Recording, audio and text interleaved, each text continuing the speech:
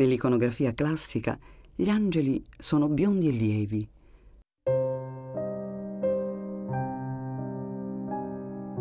Ci starà bene con loro quella ragazzina bionda di Avetrana. È volata lassù così leggera che neppure sono servite le ali per sistemarsi lì, fra gli angeli che sono certo biondi e puri come lei.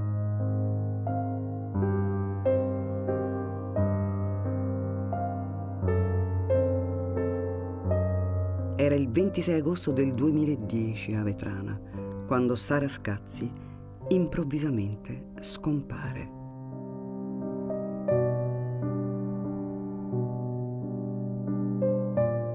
E quando scompari misteriosamente in un giorno d'estate, subito hai diritto a una biografia. Anche se hai solo 15 anni, se sei sottile come un gambo di sedano e ti chiami Sara, che finisce con l'H perché fa elegante, perché piaceva alla mamma che è devota di Geova, e così poi si chiamava anche la moglie di Abramo.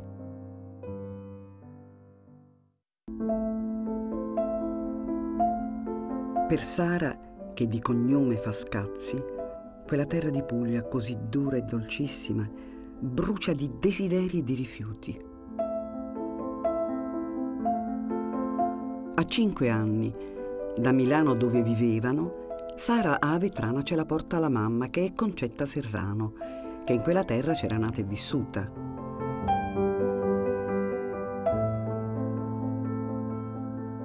A Milano in quel nord che le è diventato estraneo, anche perché è crisi fra la mamma e il papà, resta il papà con Claudio, il figlio primogenito di dieci anni più grande di Sara, fratellone da Sara amatissimo.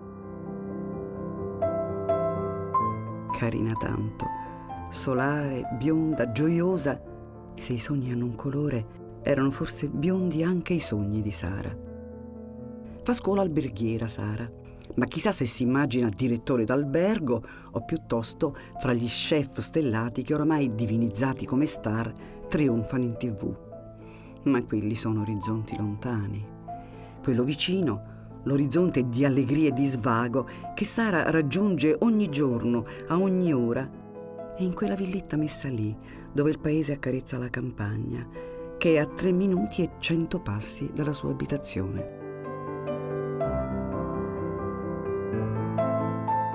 e di zio Michele e di zia Cosima Misseri, quella villetta in via Deledda numero 22. Ma soprattutto in quella villa con il patio e con l'orto ben curato c'è Sabrina, la cugina con cui Sara vive pressoché in simbiosi, la sorella maggiore che lei, Sara, non ha avuto e non ha, e alla quale si mostra fortemente legata.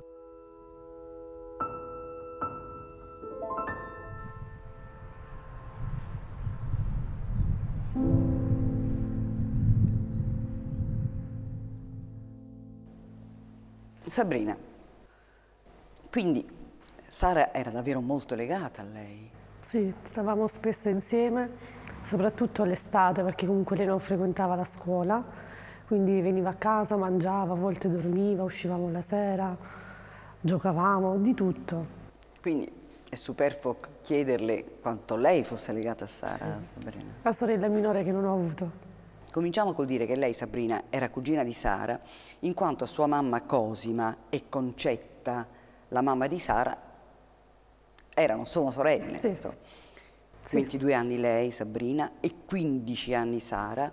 Quindi vi dividevano 7 anni. 7 anni. anni. Ecco.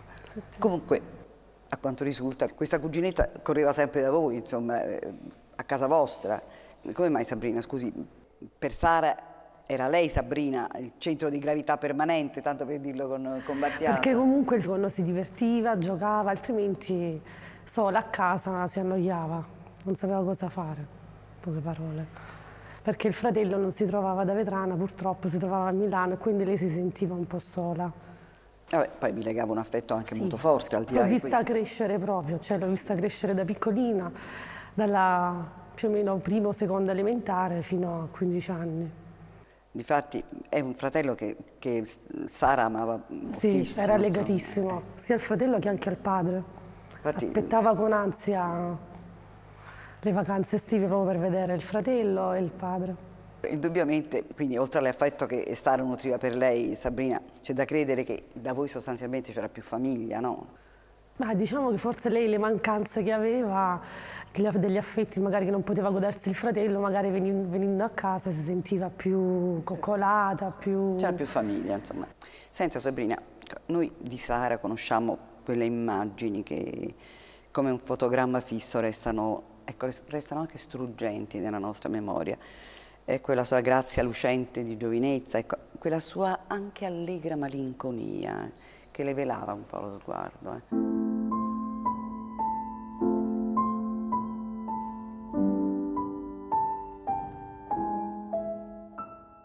ce la descriva lei, Sara Sabrina? Com'era questa ragazza? Eh, Sara era in genere di poche parole. Con chi aveva confidenza scherzava, giocava, eh, faceva anche battute. Ovviamente con le persone che non conosceva non, non dava tanta confidenza. Era una persona, una ragazzina semplicissima, uh, che piaceva divertirsi, era molto coccolona. Sì, ma com'era? Com che carattere aveva? No, perché era una ragazzina in fondo divertente. Io la definisco speciale perché comunque voglio talmente tanto bene che quindi per me è difficile definirla.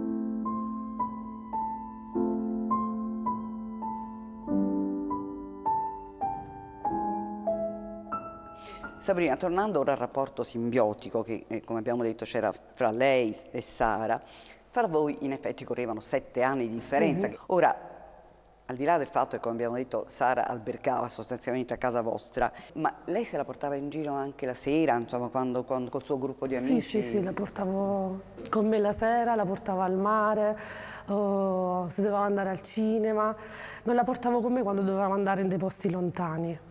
Sommariamente però la portavo con me ecco. in pizzeria, ai pub, dappertutto. E quindi magari facevate anche le due le tre del mattino? Sì, sì. soprattutto l'estate però, perché l'estate non andava a scuola. Ecco, quindi... la domanda che le faccio, ma era opportuno che una ragazzina così, no, quindicenne, si accompagnasse con ragazzi e ragazze tanto più grandi di lei in sostanza? Allora, io sinceramente la portavo con me perché comunque la mamma non, non gli concedeva di poter uscire con le amiche. Quindi solo con lei? Con me si fidava. Comunque la continuavo a portarla con me perché siccome comunque Sara aveva diciamo poca autostima, portandola la sera con me, con gli amici più grandi, io notavo che comunque Sara stava incominciando a, a, credersi, a credere un po' più in se stessa. Aveva poca autostima? Sì. Da, sì, cosa, da cosa lo, Non lo so, perché comunque lei, periodo delle scuole medie, comunque lei è stata presa parecchio in giro. È stata presa parecchio in giro. Ah, perché? Beh, perché? Perché non si vestiva magari firmata come le amiche, ragazze di scuola. Mi dispiace per chi si regolava in questi termini con Sara, mi dispiace per chi, si, per chi a un certo punto trattava Sara con poca così, attenzione perché lei non si vestiva come loro. Infatti a me dispiace molto anche di questo fatto perché comunque adesso sono tutte amiche di Sara, però io so che tante l'hanno presa in giro. Senta Sabrina, ma in tutto questo sua madre Cosima, ecco, gradiva questa presenza costante della piccola Sara a casa vostra? Eh, aspetti un attimo che lo chiedo a sua madre. Signora Cosima, Sara, la sua nipotina, viveva praticamente a casa vostra, era da voi a tutte le ore del giorno. Lei che disposizione d'animo aveva nei confronti di questa ragazzina? Io quando ero bambina ci giocavo pure con lei, diciamo, la mettevo sulle ginocchia a cantarle le canzoncine, diciamo.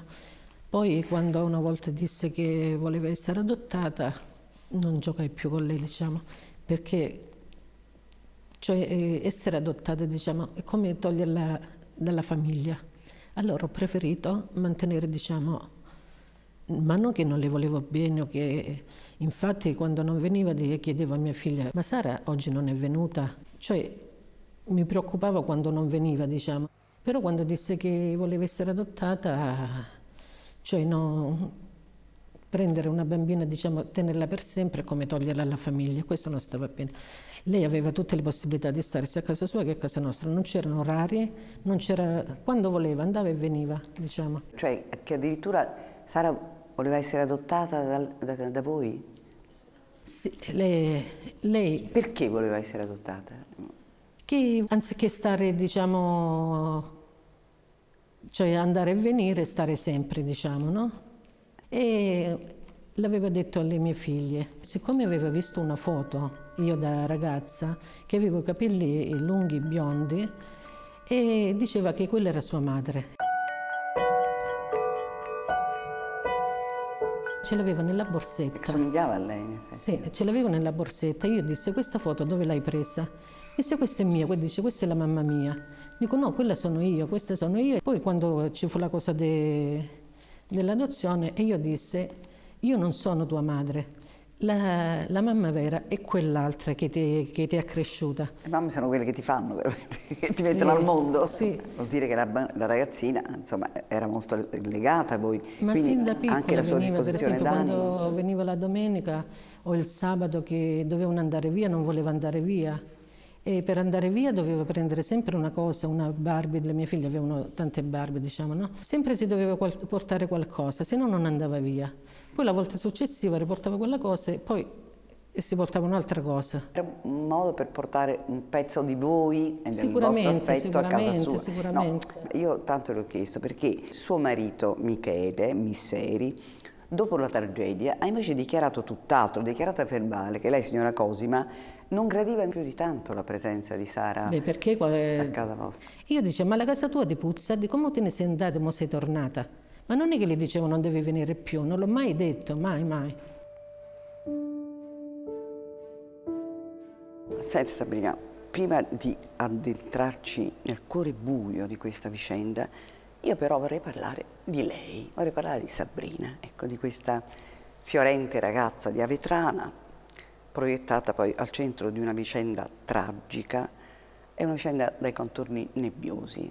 Però in effetti ben poco si sa della vera Sabrina, di chi, chi sia realmente Sabrina, pregi, difetti, vizi, virtù e quindi allora parliamone, ne parliamo proprio con Sabrina, però non si faccia il santino, eh Sabrina, mi parli no, di lei no. senza farsi il santino. Allora, io sono una persona abbastanza puntigliosa, uh, sono anche pignola, Uh, quando so di aver ragione divento molto testarda, quindi non guardo in faccia a nessuno. Poi sono una persona anche molto diretta e a volte magari essere troppo diretta non va bene perché magari può risultare anche arrogante. Una persona abbastanza sensibile, quello sì. Uh, mi piace difendere sempre le persone che appartengono alla fascia più debole. Si sta facendo un po' il santino? Eh no, perché per il resto non sono abbastanza sicura di me stessa. Quindi... Beh, su questo poi apriremo capitoli ampi. Senta Sabrina, non abbiamo ancora detto che lei ha una sorella molto amata, insomma. Sì, Valentina. Valentina, guai che me la tocca. Ma anche guai che tocca a lei, chi tocca a lei per Valentina. Eh? Valentina è una persona intelligentissima, simpatica. Sei anni, sei anni, più grande di me. Vive e lavora a Roma col marito, sì, insomma. Sì. Ecco, senta, eh, i suoi genitori... Eh, eh, Sabrina eh, hanno avuto periodi di, di grande, eh, sempre di grande impegno professionale, diciamo di grande fatica, diciamola, sì, diciamolo con le parole che servono. Insomma. Ecco, e hanno vissuto e lavorato a lungo all'estero. Sì, anche. in Germania. Posso chiedere di cosa si occupavano in Germania? Allora, mia mamma inizialmente ha lavorato in una fabbrica di gelati e poi successivamente in una, in una fabbrica di cioccolata, mentre mio padre è muratore. Comunque una vita dura, faticosa. Sì, abbastanza.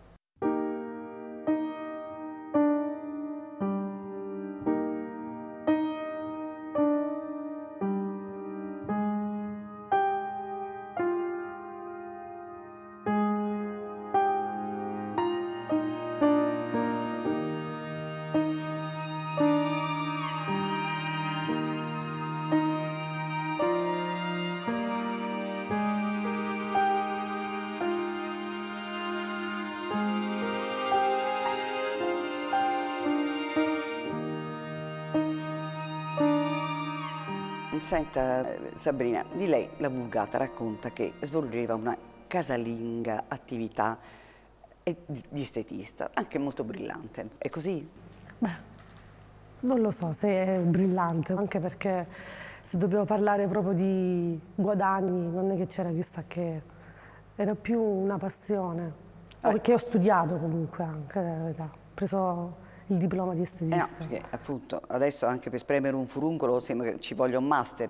Senta Sabrina, ma al di là di spianare crateri di cellulite sulle cosce delle belle signore di Avetrana, che vita faceva lei?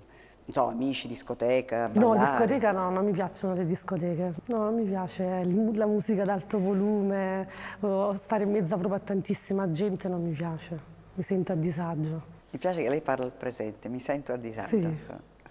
Quindi va bene, insomma, perché lei con la testa... È, Sì, con la qui. testa ancora non riesco a distinguere il passato col presente.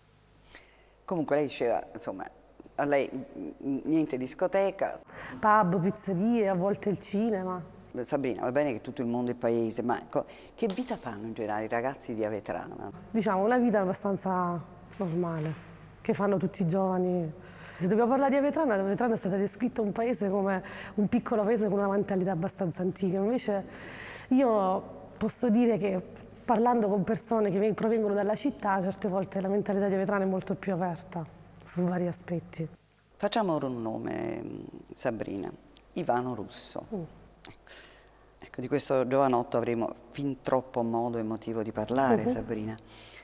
Però eh, prima di frequentare Ivano, lei ha avuto un fidanzato? Sì, sì, sono una stata storia? fidanzata circa quattro anni e mezzo. Ma era una cosa seria oppure una storia da tempo delle mele? No, era una cosa seria, poi con il tempo, cioè i progetti c'erano, poi con il tempo è andato a deteriorarsi tutto. E quindi lo ha lasciato lei? Ma diciamo, non, non dico proprio io, perché comunque anche lui sapeva, ne abbiamo anche parlato, quindi non mi piace dire che l'ho lasciato io, diciamo una cosa insieme. È una storia so- finita, insomma, è nella vita di tutti i ragazzi, di tutti noi, e chi non ha avuto un fidanzato o anche più prima di, di scegliere la persona giusta o sbagliata che Eh. sia, di scegliere quella che poi, vabbè. Senta, eh, Sabrina, veniamo ora al punto, meglio torniamo a un nome che avrà, come abbiamo detto, spazio e ruolo in questa storia, Ivano Russo. Flaiano ha scritto, i grandi amori si annunziano in un modo solo, appena lo vedi dici chi è questo stronzo? Ecco, con Ivano a lei è accaduto questo? No, il primo giorno che, che mi è stato presentato, l'unica cosa che mi è sembrata una persona abbastanza simpatica. Quindi non ha detto chi è quello stronzo? no. E quindi non era un grande amore? No, no, non era. Ma infatti io non l'ho mai reputato un grande amore. Io l'ho, cioè, detto fino all'ultimo giorno. Ma in ci arriveremo su questo, non- non- arriviamoci per gradi. Però una cosa ecco, vorrei sapere, eh, rispetto a quando è successa la tragedia, eh, da quanto tempo lei frequentava Ivano Russo? Mm, circa quasi 8-9 mesi. Perché è stato dicembre 2009 che io l'ho conosciuto. Quindi, insomma, Pochissimo. diciamo, un non- rapporto recente, Sì, rapporto sì. intendo anche un rapporto di Sì, sì, frequentazione, al di là di quello che poi... Non era neanche un anno. Quanti anni aveva Ivano quando avete cominciato a frequentarvi? Uh, lui 5 anni più, ne aveva 27. Io 22 e lui 27, 5 anni più grande. Cinque anni più. Senta, di cosa si occupava Ivano quando... Sì, nella- no, era militare in quel periodo quando l'ho conosciuto. E dopo ha lavorato in un supermercato. Senza Sabrina, il limite dei piccoli centri, che, che poi ha anche il loro fascino, eh, è che si è in pochi, non c'è ricambio. Quello è il prodotto su piazza, eh, di quello bisogna, di, di quello bisogna servirsi. no? Ora, diciamolo tutta, Sabrina, in una dimensione ambientale, sociale più ampia, magari lei di questo Ivano Russo non si sarebbe neppure accorta forse, non sarebbe filato di pezza, come direste voi ragazzi, no? Considerato però eh, il gran parlare di questo sperdimento suo nei confronti di questo giovanotto, ma cosa le piaceva di, di Ivano?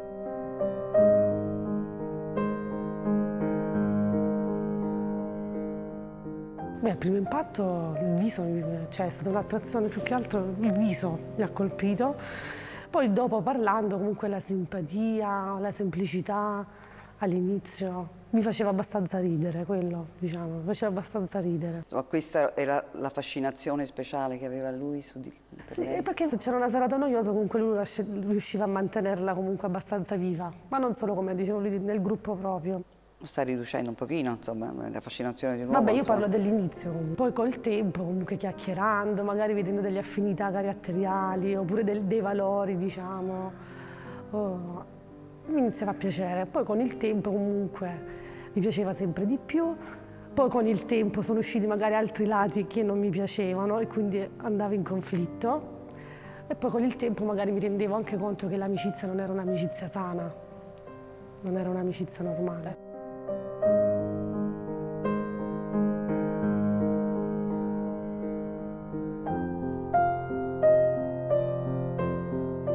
Lei aveva questo suo piccolo centro estetico in casa, ecco. Ma era un cliente suo anche Ivano Russo? Sì, ma non da lì subito però.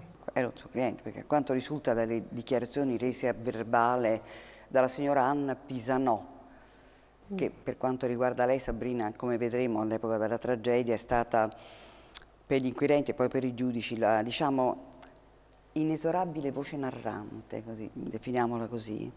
Eh, secondo la signora Pisano, lei Sabrina praticava massaggi estetici e terapeutici anche a Ivano Russo. Sì, alle cervicali, massaggio alle cervicali. Ma sembra che a muovere le mani con efficacia felicemente terapeutica fosse anche Ivano Russo. Come questo lo dice lei, lei. Questo lo dice lei, lei. No, questo lo dice lei. In casa non è mai successo niente di tutto ciò. In eh. casa no. Quindi è un pettegolezzo? Questo è un pettegolezzo, in casa no. Con mia madre dentro casa non esiste proprio con i miei genitori dentro casa. Comunque, eh, Sabrina, per quanto ci gira intorno, il cardine di questa storia fra certezze e fantasie ruota sostanzialmente sull'essenza del, del, rapporto fra lei sì. e Ivano Russo. È stato proprio il suo rapporto con Ivano Russo, Sabrina, il contenitore insieme della più becera chiacchierologia e, e anche del più buio, forse inconcepibile dei moventi per la tragica fine di Sara Scazzi. Comunque, Sabrina, ce lo definisca lei che ha titolo per farlo, ci definisca il suo rapporto con Ivano Russo, lei come lo definirebbe?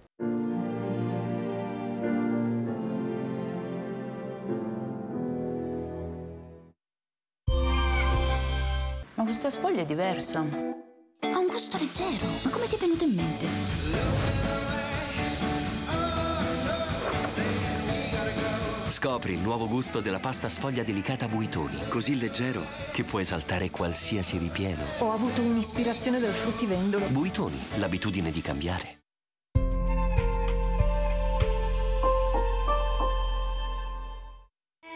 City Car Hyundai. Scegli la tua emozione.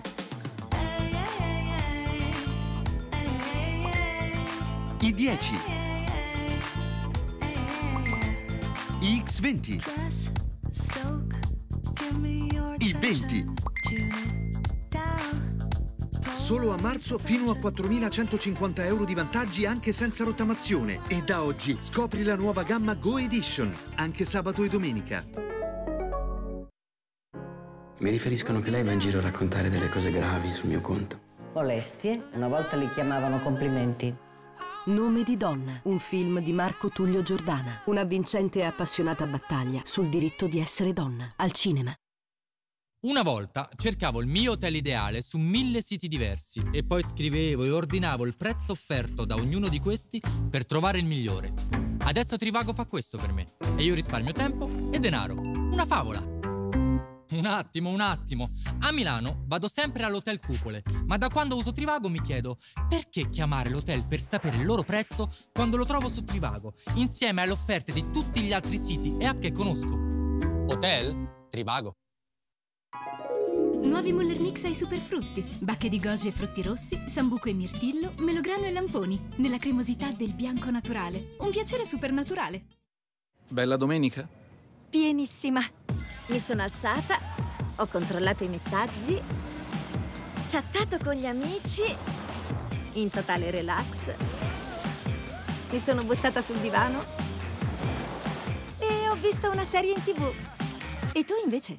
Ma più o meno uguale. La vita è là fuori. E tu? Nuova Ford EcoSport ST Line. Diesel o benzina a 149 euro al mese, anche sabato e domenica.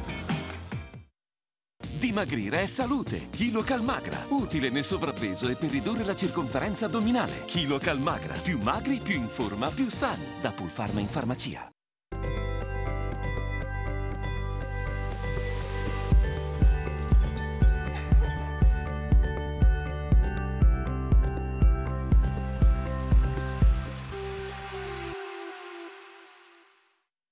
Scopri Granarology Plus, tutta la bontà e gli elementi nutrizionali del latte italiano, oggi con il 30% di zuccheri in meno. In più e senza lattosio, Granarology Plus, il meno che diventa un plus, anche con magnesio, omega 3 o fibre.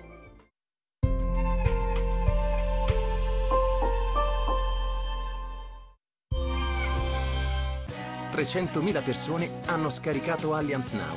Sai perché? Perché domenica sera Dodi è stata molto male. Con un clic ho trovato il veterinario che l'ha subito visitata. E non ho pagato nulla. Allianz Now è gratis. Scaricala subito o chiedi al tuo agente. Salve, siamo studenti di Pechino. Tenete, serviranno a proteggervi. Contro chi? I lupi. Osservali. Secondo te cosa stanno per fare? Ripulire le tane dei lupi dai loro cuccioli. Fatelo. Saranno furiosi e contrattaccheranno. Ne ho preso uno! È troppo rischioso tenerlo qui. Non posso più lasciarlo andare. Che c'è qui sotto? È solo un esperimento. I lupi circondano l'accampamento. Verranno a riprenderselo. Dovrai pagare per quello che hai fatto. Hai catturato un dio e ne hai fatto il tuo schiavo. L'ultimo lupo.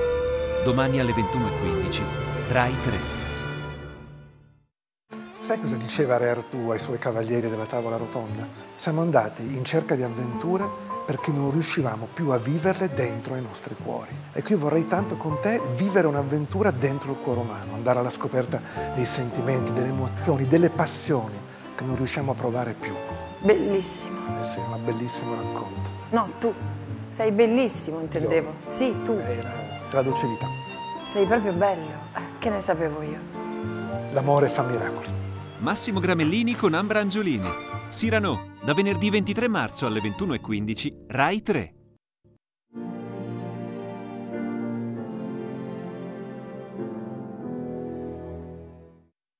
Comunque, Sabrina, ce lo definisca lei che ha titolo per farlo, ci definisca il suo rapporto con Ivano Russo. Lei come lo definirebbe? Sicuramente mi piaceva e lo sapeva anche lui perché io sono una persona abbastanza chiara e trasparente. Abbiamo parlato più volte di questo fatto, che lui mi piaceva, che ero attratta fisicamente, lui lo sapeva. Uh... Ma lui non si pronunziava nei suoi confronti, scusi? Lui diceva l'importante è che non, non pretendi da me altre cose perché comunque lui non si voleva fidanzare, ma io infatti ho detto non ho mai chiesto una cosa del Quindi genere. vogliamo definire un rapporto che è più di un'amicizia, meno di un amore? Sì, io così l'ho definito sempre, ma anche tramite i messaggi. Io vedevo che non era un'amicizia ma neanche un amore. Ma vede, lei ha toccato un punto, perché studiando gli atti del processo c'è un dato che colpisce Sabrina e, e, un dato che ha avuto poi un peso specifico eh, nel corso del processo eh, in sede di giudizio e alludo proprio alle centinaia di messaggi, ce ne sono agli atti 4.500, sì, sì, eh, messaggi che lei ha inviato a Ivano, eh. messaggi che sono indiscreti da leggere, come tutto è sempre indiscreto, Sabrina, quando, quando entra negli atti di un processo. E va detto in premessa, Sabrina, che quei suoi messaggi a Ivano Russo destano grande tenerezza, ma in verità destano anche ondate di femminile rabbia. Per come lei si mostrava, Sabrina, se me lo passa, disarmata, fragile, insicura, ecco, diciamo pure sentimentalmente genuflessa di fronte a quel giovanotto eh, di levatura corrente, diciamo. Dio Ivano. Ah, ma lì, Dio Ivano. questo Dio Ivano, guarda, eh, lo so. Sembri, io ho in mano quei, quegli atti, quei, quegli sms ce l'ho in mano. A quel suo resistibile idolo, lei si rivolgeva dicendogli Dio Ivano. Ma quello era scherzando però, cioè mm. lì c'è tutto un episodio prima dei messaggi, una serata scherzando, stavamo iniziando a parlare, allora io lo, lo, prendevo in giro parlando dei dieci comandamenti, non nominare un altro Dio lì fuori di me, no? Allora io, poi dopo alla fine ho detto io ti chiamerò Dio Ivano e in uno di quei messaggi ci deve essere anche lo smile, perché comunque era una presa in giro e di questo Dio Ivano è stato fatto proprio un, un romanzo Beh, proprio. Diciamo, cioè, però, tra tanti messaggi proprio il Dio Ivano loro hanno preso, è stato tutto con una sera, io in macchina con lui chiacchierando, io dissi che l'avrei preso in giro chiamandolo in quel modo. No, perché sai, 4.500 messaggi... Sì, però c'è anche da specificare dire... che io avevo la promozione dei messaggi gratis. Vabbè, siccome adesso eh, noi ci stiamo giocando eh, sopra, giustamente, è giusto che anche che lo facciamo. Però voglio dire, siccome ecco, al centro di questa tragedia c'è questo suo rapporto sì. con Ivano, questo irresistibile giovanotto, come dico io, insomma, Sabrina, ma se li ricorda lei quegli sms tipo magari c'è qualche ragazza che ti vuole avvicinare e per colpa mia non lo fa perché stai sempre con una cozza. Ah, sì, è vero. La Sabrina, sono frasi da brividi, brividi di rabbia naturalmente, eh. perché ecco, una questuante dell'amore, ecco, pronta a raccogliere anche le briciole di un sentimento del quale lei mostrava di non sentirsi degna, perché, perché si reputava una cozza. Ma insomma, Sabrina, ma come le veniva con lui, col dio Ivano? Lei diceva di sé io sono una cozza. No, non lo dicevo per quello, mi sentivo la cozza pure prima di conoscere Ivano. Ma e lo, glielo va a dire a lui? Ma come le veniva, insomma, voglio dire? Eh, lei scrive a un ragazzo una frase di questo genere. Chissà c'è qualche ragazza che ti vuole avvicinare per colpa mia non lo fa perché stai sempre con una cozza. Ma... Sì. Lei se li ricorda questi messaggi? Sì, eh? sì, sì. Ma oggi non si prenderebbe a schiaffoni per averli scritti? No, se tornassi dietro glieli riscriverei di nuovo questo, questo messaggio. Sì. Questo? Sì, questo sì. Nel senso, io parlo del termine cozza, cioè se uno non, non si piace, non si piace, cioè, a prescindere anche con un'amica, con chiunque. Sabrina, anzitutto perché all'epoca lei magari sarà stata pure fisicamente un po' in carne, florida, diciamo una bonazza, vai. Ma a parte che chilo in più, chilo in meno, lei No, non è quello era il problema. ed è una bellissima ragazza. Non è quello il problema, è il viso. No, ma appunto, diciamo, magari era un po' florida, insomma. Però a parte che nessuno ha mai detto che belle ossa al mondo, non ho mai sentito nessuno dire che belle ossa. Ma poi perché parlarne con Ivano? Insomma, eh, così svilirsi così con lui? Perché suggerire a lui qualcosa del quale magari lui non si era neanche accorto? Perché Sabrina, scusi? Ma perché non lo so. Perché forse mi preoccupavo di questo fatto, perché magari c'era qualcuno che si volesse avvicinare per questo fatto non si avvicinasse. Non lo so.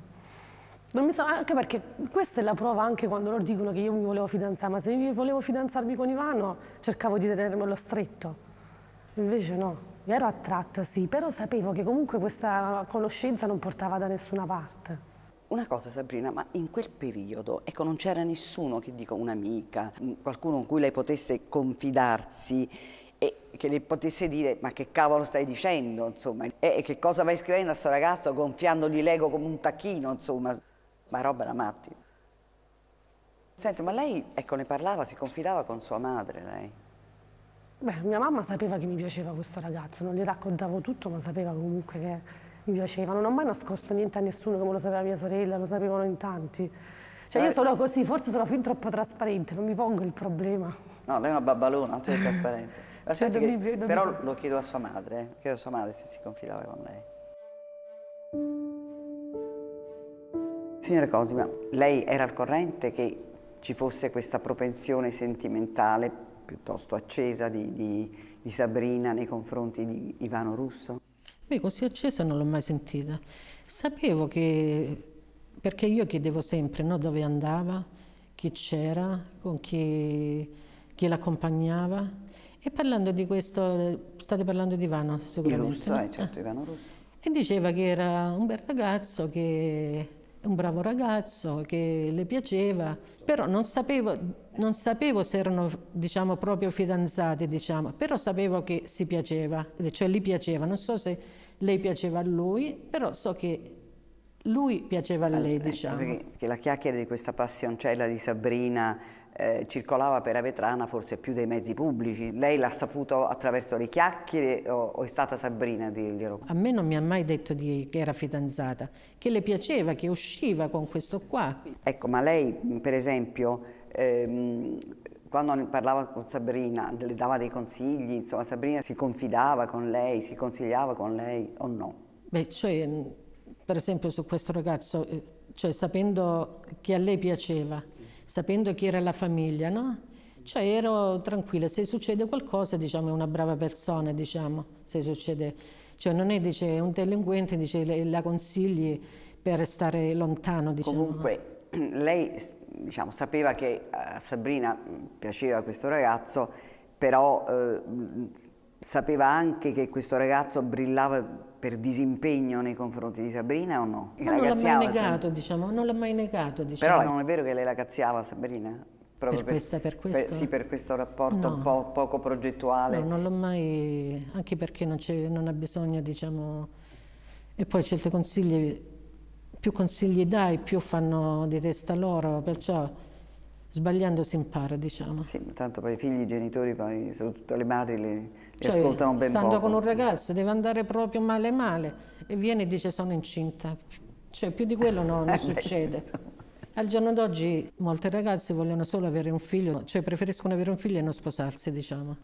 Beh, come vanno i matrimoni oggi che durano così poco, diciamo, e poi succedono tanti casini.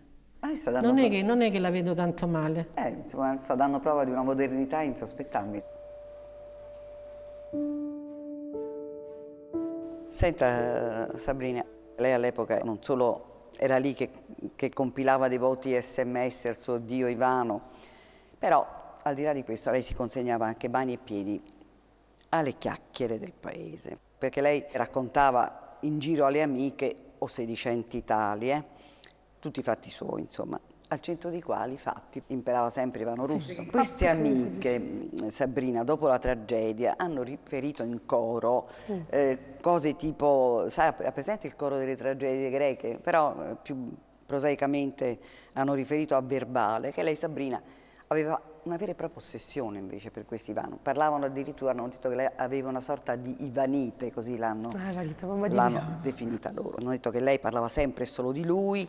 Ecco, eh, Sabrina, ma è vero che lei, per esempio, chiedeva alle sue amiche che quando non c'era lei per controllassero Ivano, vedere con chi si accompagnava, se, eh, con, con No, è successo solo una volta, un episodio una volta perché comunque avevamo litigato io e lui. Non era una cosa che è successa tutte, una volta sola è successa, quindi non è che Eh.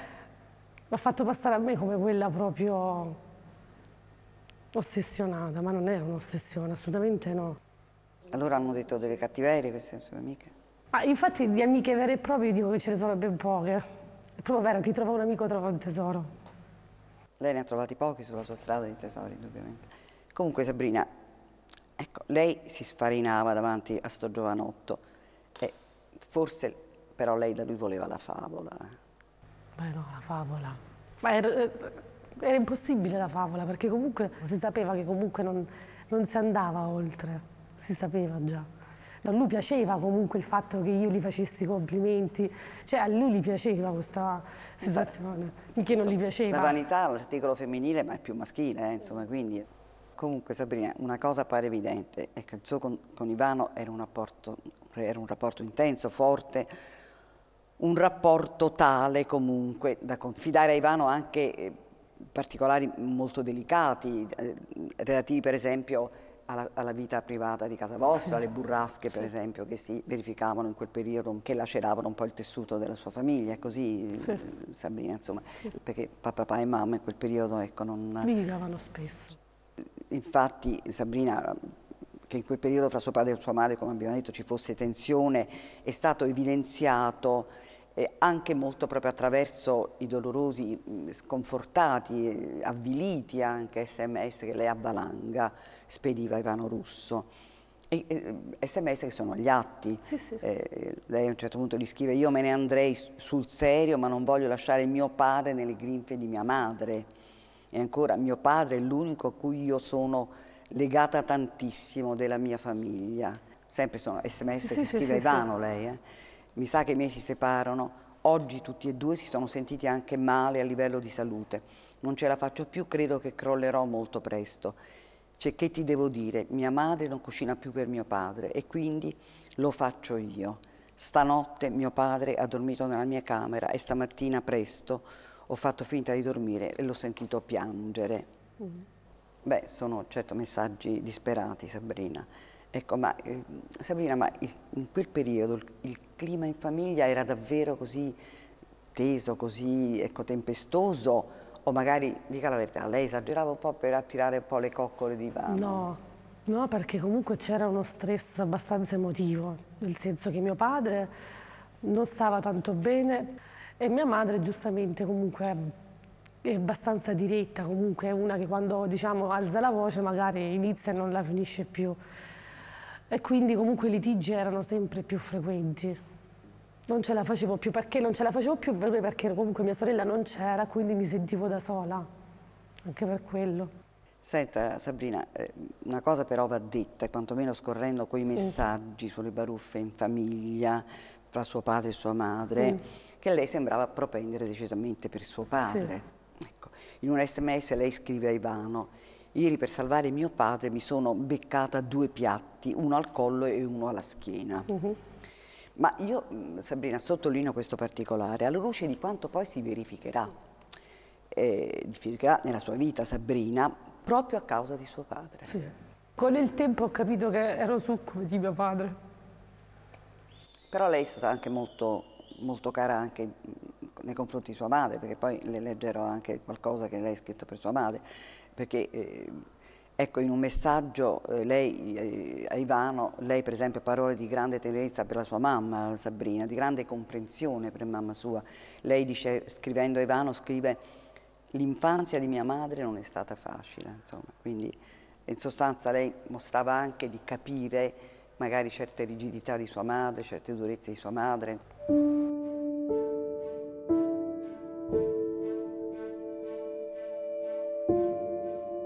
Ora però ritorniamo a Sara, Sabrina. Ecco a questa sfortunata creatura che, che non abbiamo certo dimenticato. Come abbiamo detto, Sara viveva praticamente a casa Sì. vostra. Lei, Sabrina, era praticamente la sorella maggiore di Sara. Però lei per questa cuginetta rappresentava anche una sorta di ponte per quello che ne possiamo definire la vita sociale no, di Sara, no? Sì, sì. Però Sabrina, Sara ragazzina quindicenne, Sì. di conseguenza uscendo con lei frequentava ragazzi molto più grandi, eh, praticamente dei vecchietti per lei, insomma, ecco. E fra questi ragazzi naturalmente Ivano Russo. Ecco, ma questi ragazzi così più adulti, ultraventenni, come si rapportavano a Sara? Insomma, come la trattavano? Beh, la trattavano da piccolina. La coccolavano magari, che ne so, le compravano delle cose de- da mangiare, oppure per esempio alle fiere magari gli prendevano i peluche. Era la mascotte del gruppo proprio perché era piccolina e cercavano comunque sempre di tenerla contenta, farla divertire. Ecco, però la trattavano non come una, una donna, una No, ragazzina, una come bambina, una bambina. no, una ecco. bambina, assolutamente, E Ivano sì. Russo come si regolava? No, no, anche lui.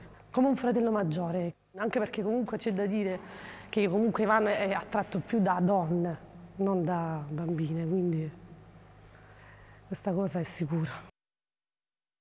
Con noi Sara comunque molto- era molto contenta, stava bene, nonostante la differenza di età. Magari non partecipava in, in parecchi discorsi, non so, discorsi che potevamo fare noi un po' più grandi, ma mm, comunque mm, gli piaceva mm, la nostra attenzione, non attenzione, più che altro la protezione che gli davamo, perché lei era molto, eh, si vedeva che era molto piccola, molto, a volte forse era, era fragile, è un- una ragazza fragile, per questo magari la sera veniva, cercava le, le attenzioni tipo le coccole, cose così. Ora, Sabrina, però, non ci giriamo intorno, peraltro è uno degli argomenti su cui l'accusa nei suoi confronti ha battuto con maggiore insistenza, ed è la gelosia. La gelosia che lei, Sabrina, avrebbe provato per Sara a causa di Ivano, insomma. Sia sincera, Sabrina, lei era gelosa di Sara? No, proprio perché sapeva, primo, che Ivano le piacevano le donne più grandi, secondo, non vedeva atteggiamenti di nessun tipo, e poi io gelosa di una bambina assolutamente no, assolutamente no. E poi si possono vedere dai messaggi, c'è un messaggio dove io Ivano faccio una scelata di gelosia nei confronti riguardo a Sara, non ce n'è nessuno. Potevo essere gelosa di altre ragazze, di altre donne, magari sì, ma di Sara no, assolutamente no.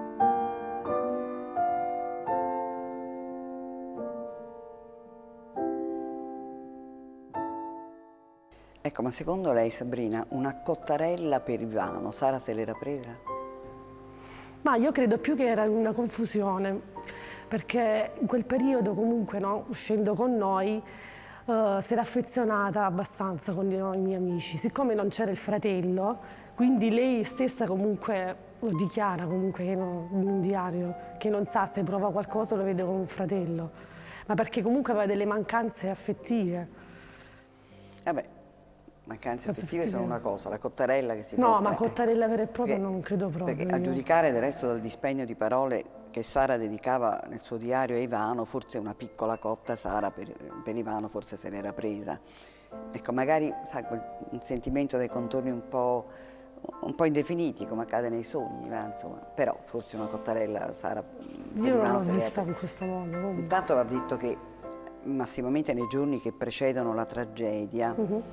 Ivano per esempio è presente in quasi tutte le note del diario di Sara. Ecco, il 28 so. luglio 2010 e siamo 28 a un, luglio. 28 luglio 2010, siamo a un mese prima della sì, tragedia, sì, sì. Sara scrive Sono molto legata ad un ragazzo che ha 27 anni. Io ne ho solo 15. Lui è dolcissimo con me e mi coccola sempre. Si chiama Ivano e lui piace anche a mia cugina Sabrina, ma io non capisco se mi piace o se gli voglio solo bene come ad un amico. Sono confusa. Eh, quello che ho detto io. Alla fine è la stessa cosa che ho pensato io, Eh, cioè la stessa però- cosa che ho detto io. Però vede, insomma, in un Però certo già senso- se lui si- lei si pone questa domanda vuol dire che tanto sicura non è neanche lei. Ecco, Sabrina, ma Sara ne parlava con lei? Ecco, parlava con lei di questo suo confuso No, no, sentimento, no. di questa simpatia No, che... No, no, lei soltanto ci parlavamo del fatto che comunque si divertiva ad uscire con Ivano come mi divertivo anche io. Proprio Però- perché era, secondo me la cosa che affascinava tanto è il fatto proprio di eh, ridere tanto, ridere tanto e quindi secondo me si creava una confusione perché ci si divertiva parecchio quando si usciva la sera. Però la domanda che ho fatto è, Sara non si confidava con lei, non Questa diceva mi no. piace quest'Ivano. No, no, no, di questa frase no, no, non me l'ha mai Cioè, detta. non me l'ha mai detta. Questa cosa non me l'ha il diario è il contenitore dei nostri pensieri, quindi indubbiamente lei una certa cottarella per questo ragazzo se lo cioè, Sabrina, guardiamo insieme le cose con serenità e senza poi attribuire mh, significati sinistri, insomma, che in sede poi quelli che in sede processuale, come lei disperatamente sostiene, poi eh, eh, diciamo, i giudici hanno ritenuto di individuare. Sara era in piena primavera di vita, è anche d'altronde tipico, è quasi fisiologico, Sabrina, che le adolescenti investano quel pacchetto di sogni che a quell'età si ha sempre da spendere, che lo investono su un ragazzo più grande, su un ragazzo adulto, insomma. E magari quel maschio adulto per, per Sara poteva essere Ivano Russo, ma praticamente non per altro, perché era lì nel gruppo, era portata di cazzeggio. Si usciva la sera solo Era con portata loro. di cazzeggio, parliamoci chiaro, niente di più, insomma.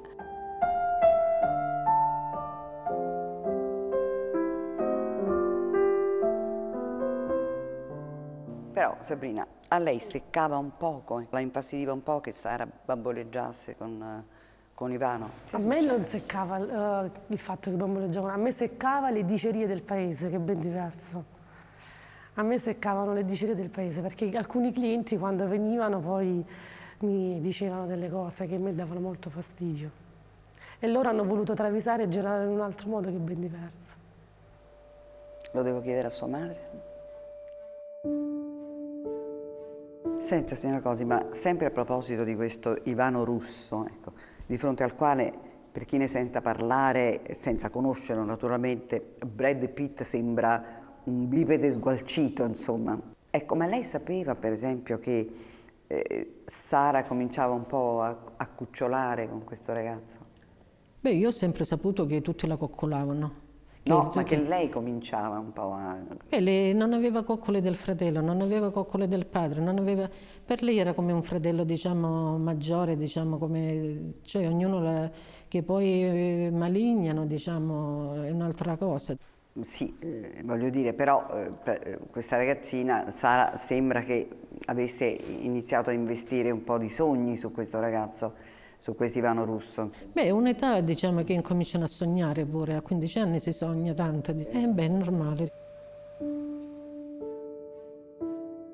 Senta, eh, Sabrina, alcune sue amiche, appunto, lei Sì. dice si facevano pettegolezzi in paese, Sì. insomma, e sembra che, mi deve scusare, che a Vetrana, in questo fazzoletto di terra, regni sovrano l'inciuscio, eh, insomma, Ah, perché... sì. In paese più piccolo Eh, magari eh, la eh, voce eh, gira eh, eh, subito, più cioè, veloce. insomma, voglio dire.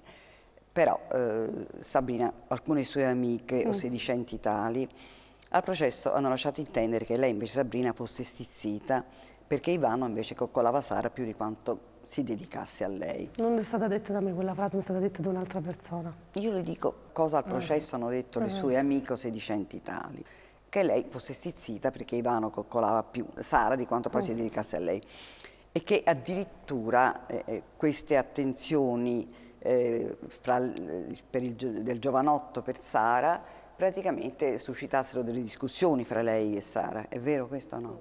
Per le chiacchiere del paese, ma non del fatto che, cioè, che coccole face, poteva fare Ivano a Sara? Una carezza sulla testa? Cioè per quello devo essere gelosa? Di cosa devo essere gelosa? Quella frase l'ha detta un'altra persona, non è una frase detta dalla mia bocca. Perché comunque anche altre mie amiche comunque gli piaceva la compagnia di Ivano. Eh, insomma, sembra eh. Alain Delon, che insomma, comunque aveva detto che sulla base di quanto Sara ha anche annotato sul diario, mm. la sensazione che sua cugina aveva in quell'ultimo mm. periodo era che lei, Sabrina, non volesse più portarla con sé quando c'era Ivano. No, me lo portavo soltanto quando è stato un periodo di luglio, più di dieci giorni non l'ho portata con me, ma non ma perché... quando c'era Ivano. Però le posso dire una cosa, così la interrompo. Sara va detto che non attribuiva questa sua decisione, Sabrina, di non portarla con sé a motivi di rivalità, di no, gelosia. No. Secondo Sara, lei, Sabrina, preferiva stare con, da sola con Ivano, con questo giovanotto, perché non voleva un terzo incomodo. Ecco, no, è capitato questo... una volta che volevo parlare con lui, però chiaramente se avevo da chiacchierare lo dicevo chiaramente e la lasciavo a casa. Questo sta a dimostrare comunque che in qualsiasi momento la potevo lasciare a casa e non avevo l'obbligo di portarla con me. Però ci sono gli obblighi e quelli che sono le aspirazioni. Le aspirazioni di Sandra era quella di uscire con lei, soprattutto quando c'era Ivano, perché il 9 giugno 2010 Sara scrive sul diario. Ciao, comunque ieri sono andata al mare con Sabrina e Ivano. Mi sono divertita molto. Ah, sì. Solo che Sabrina poi mi ha detto che la prossima volta vuole stare da sola con Ivano e io devo rimanere a casa. Che palle! Quando fa così mi fa venire i nervi. Non vedo l'ora che arriva mio fratello e mio padre. Non vedo l'ora che arriva, eh, congiuntivo, che arriva mio fratello e mio padre. Ah, dimenticavo di dirti che sabato e domenica pure devo andare al mare però non con Ivano. Questa è una pagina sì. del diario del 9 giugno 2010 di Sara. Quindi per Sara la cosa importante era che ci fosse Ivano, che uscisse con lei, ma soprattutto e che il fatto che lei, Sara, eh, Sabrina, non se la voleva portare dietro. Quindi Sara se l'era fatto il film sostanzialmente quando c'era Ivano, lei Sabrina non se, voleva, non se la voleva no, portare. No, l'ultima volta le ho detto di no perché avevo bisogno di parlarne con lui, da sola con lui. Comunque Sabrina, lei diciamola tutta, forse questa, questa cuginetta l'aveva anche un po' viziata, eh, perché quando non se la portava dietro, Sara rosicava, diciamo. mi sembra pure giusto, cioè sì. io avrei fatto lo stesso. Vabbè, insomma, però sta ragazzina rosicava eh, perché si sentiva indebitamente esclusa e infatti il 10 luglio 2010 e siamo a circa un mese e mezzo dalla tragedia, Sara un po' incazzatella annota sul diario. Ciao, è tanto che non scrivo. Ma Sabrina sta facendo la stronza con me. Non mi sta facendo uscire. La odio. E poi dice che sono io quella che fa la convenienza. Parla proprio lei, che mi pensa solo quando le servono i favori. Non vedo l'ora che arriva Ferragosto, così vengono Claudio e papà. Due giorni dopo, sempre più ammusata, Sara racconta al diario. Ciao, Sabrina non risponde neanche più al telefono. Non vedo l'ora che arrivano Claudio e papà. Davvero lei così escludeva non Sara? Non me lo ricordo. Questo fatto che non rispondeva al telefono, anche perché poteva venire in qualsiasi momento a casa, quindi non c'era bisogno di aspettare al telefono o meno. Comunque l'accusa, che per, per mestiere fa l'accusa, eh, indubbiamente si è formato il convincimento che lei Sabrina fosse, fosse gelosa della sua cuginetta, anche sulla base, come abbiamo detto, di questi pensieri di questi pensierini tarlati ecco, che Sara annotava sul diario. E Però appunto, non ci sono messaggi tra me e Ivano che faccio scelate di gelosia riguardo a Sara e questo che ancora non nessuno ha saputo spiegare.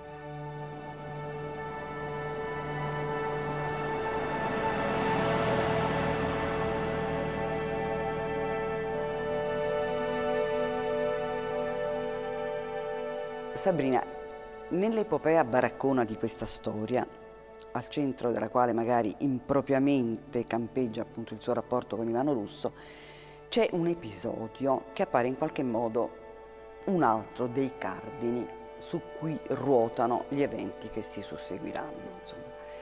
In sostanza accade questo. Accade che in una notte sbadata, fra il 3 e il 4 agosto, lei, Sabrina e Ivano, dribblate gli amici e su sollecitazione di Ivano vi allontanate per appartarvi in macchina in un posticino tranquillo.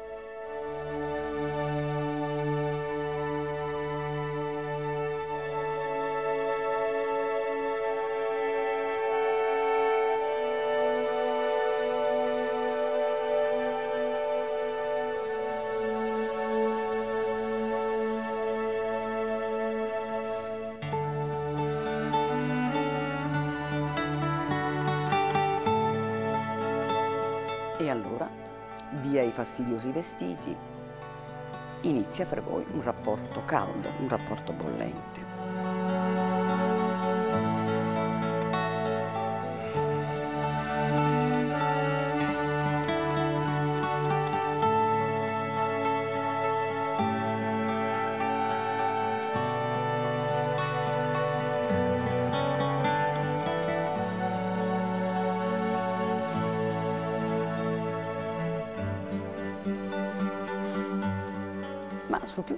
Dare lo stop agli sperdimenti fino a interrompere l'estasi, incredibilmente è vano.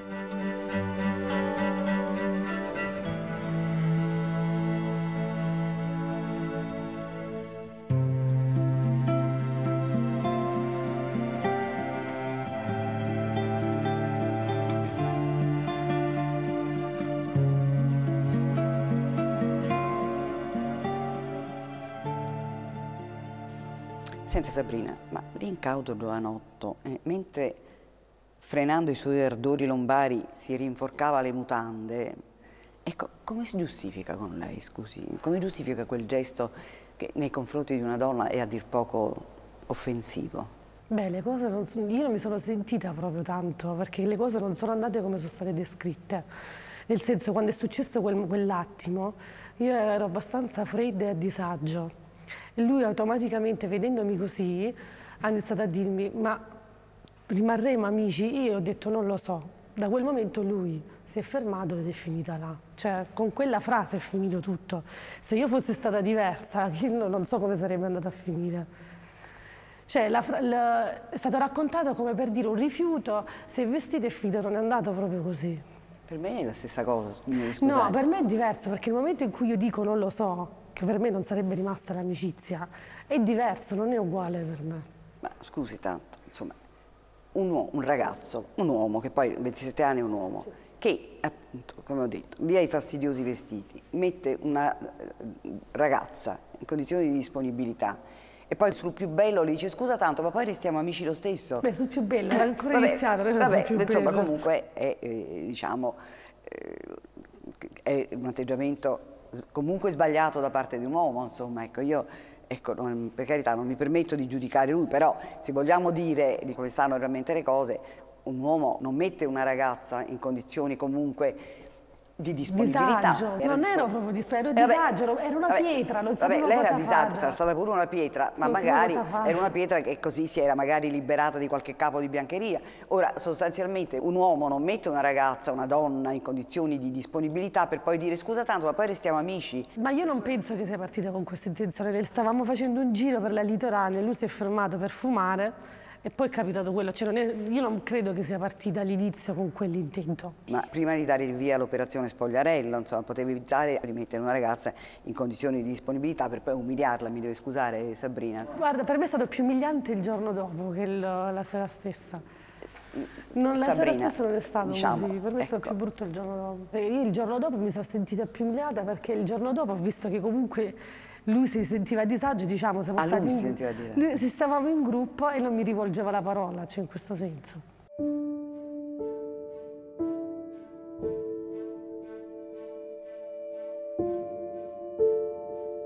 Comunque, senta Sabrina, eh, devo dirle una cosa a proposito Mhm. di questo, che ricordo un momento davvero molto molto difficile che lei ha dovuto attraversare al processo nel corso di un interrogatorio del pubblico ministero. Ecco, il pubblico ministero, il dottor Mariano Buccoliero, con un'insistenza forse evitabile, mi ha chiesto quale fosse stato il livello, diciamo così, di, di affondo raggiunto da Ivano nel rapporto intimo con lei, Sabrina, durante quella notte sgarbata. Ricorda lei Sì, quel sì. momento? In quella circostanza Vi fu un rapporto sessuale o no? No, non c'è stato alla fine un rapporto sessuale, perché comunque ci siamo, ci siamo bloccati lì e non abbiamo fatto nient'altro. Quindi vi siete solo spogliati e poi rivestiti, da quello che capisco. C'è stato No. un contatto fisico? C'è stato un contatto fisico, ma ci siamo, cioè, mi sono fermato ci siamo fermati subito. Sì, ho capito, ma ci fu una penetrazione? Sì. Quindi, ci fu la- quindi il rapporto sessuale c'è stato? No, sessuale no. Sessuale, cioè non è che a un certo punto mi sono fermato perché, cioè non è che ho consumato. Ah, Siamo ecco. andati, cioè è pure una- un modo, cioè, è delicata Beh, sta è cosa. chiaro. Comunque, Siamo, eh, so, siamo andati conto, per fare eh, questa cosa qua e mi sono fermato Quindi prima di comunque- consumare un rapporto completo. Cioè nel senso che non vi fu eiaculazione? Per niente. Lo ricordo abbastanza bene. Diciamo che è una domanda che per me si poteva evitare. Anche perché non riguardava niente della tragedia, cioè o a fondo, non a fondo, non c'entrava niente con la tragedia, non cambiava niente. Ma Sabrina, forse il dottor Bucoliero me ne vorrà, ma devo dire che anche io come donna ecco, ho vissuto un momento di profondo disagio quando ho assistito a quella scena. Comunque Sabrina, tornando ai fatti, tornando appunto a quella notte interrotta, chiamiamola così, non so cosa lei Sabrina e Ivano vi siate poi detti nella spiacevole circostanza, il fatto è che di quanto era successo, anzi non era successo con Ivano in quella macchina durante quella spiacevole notte, lei ha l'incauta idea di informare punto per punto l'amica Mariangela Spagnoletti. Ma c'è di più. Lei ne parla e racconta i dettagli di questa, di questa notte interrotta in presenza della piccola Sara. Sara non sente tutto però. Vabbè, comunque l'ha raccontato in presenza della piccola Sara, magari avrà perso qualche, qualche dettaglio. Diciamo Però all'inizio si è Ma trovata. Sabrina, e non mi stancherò mai di ripeterglielo e dirle, e lei non si offende quando io la chiamo babbalona, che lei è proprio una babbalona, ma perché cavolo chiacchierava tanto lei, Sabrina, insomma, e chiacchierava poi di fatti che, di cui poi è meglio tacere, ecco, specialmente quando sono poi fatti poco edificanti per una donna. E, e dica la verità Sabrina, ora con l'esperienza che si ritrova, lei la rifarebbe la stessa No. sciocchezza? Questa no.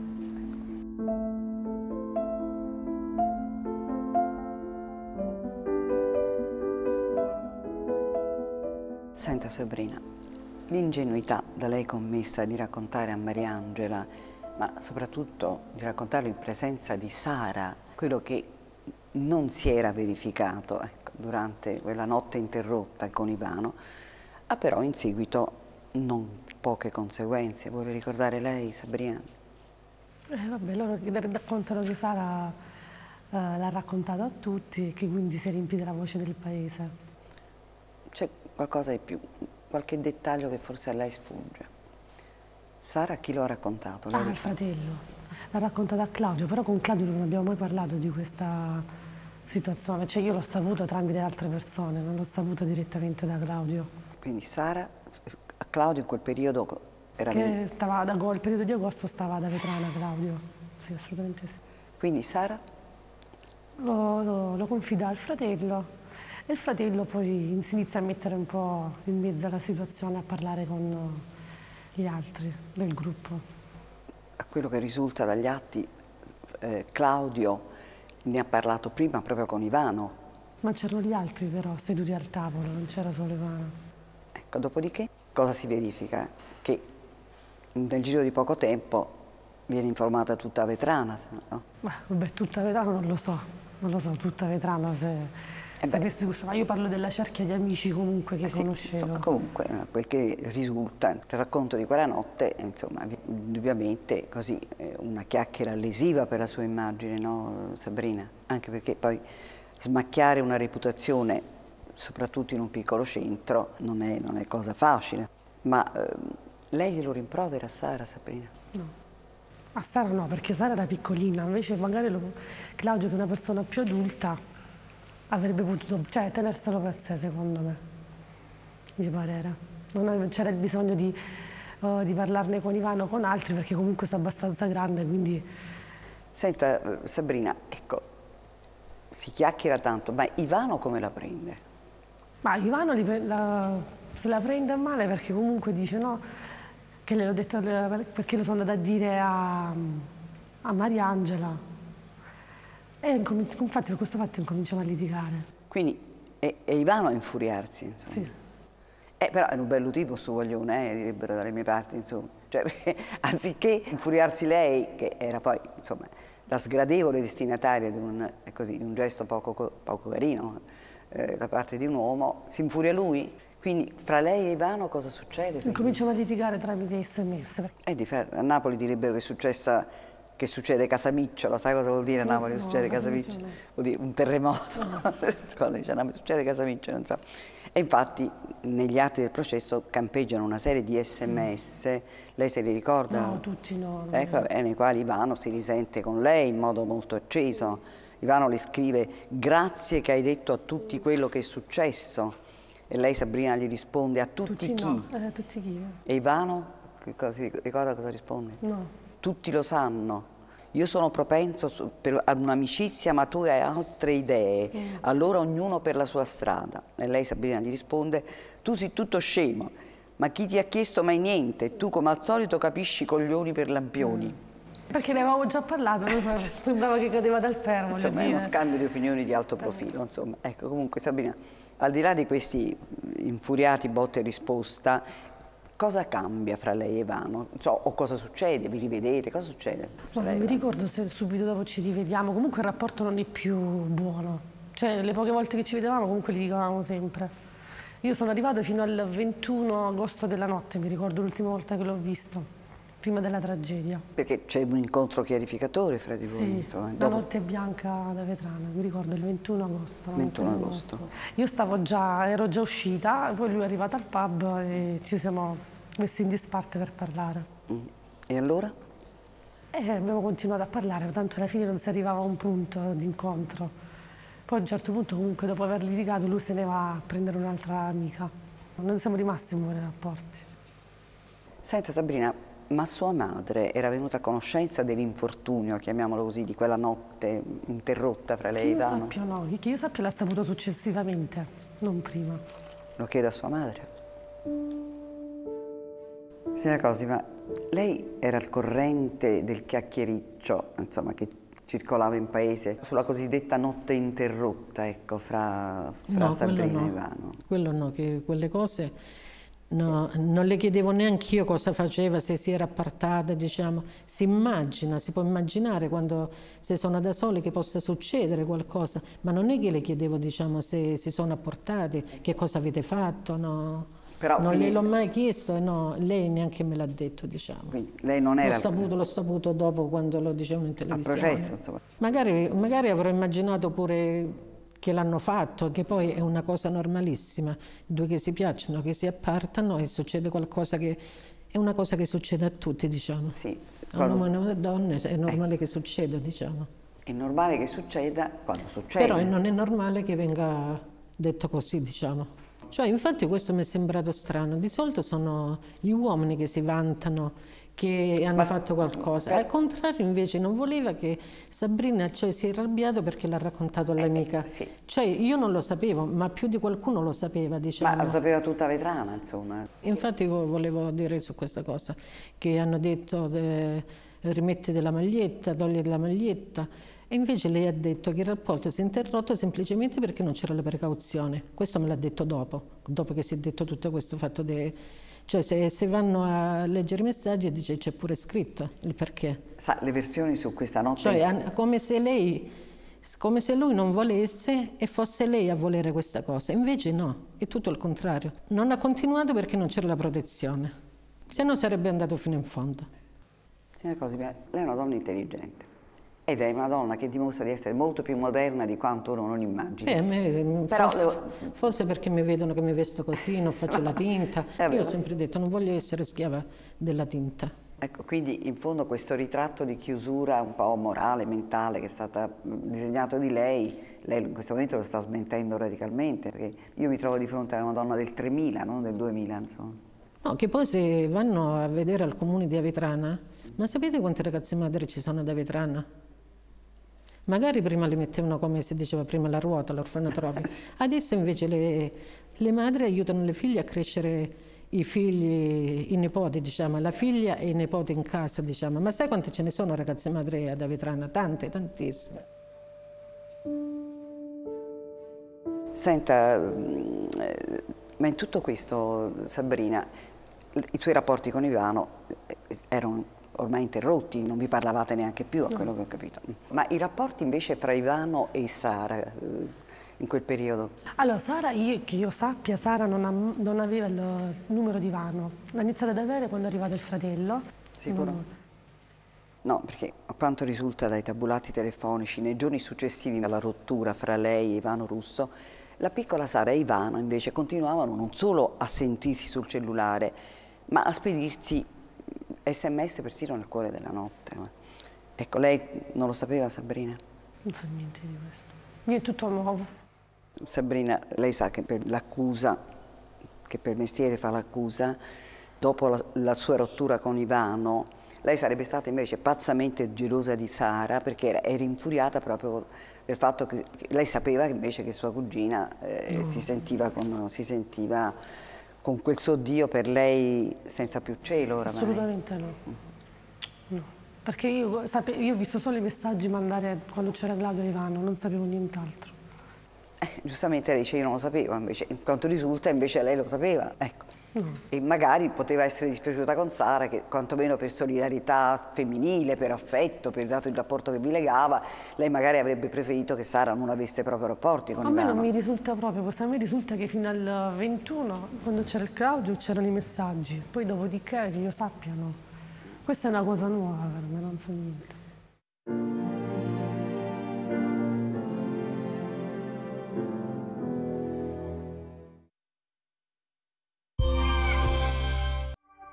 Tablò è cioccolato perugina e la sua forma unica dà vita a un'esplosione di gusto.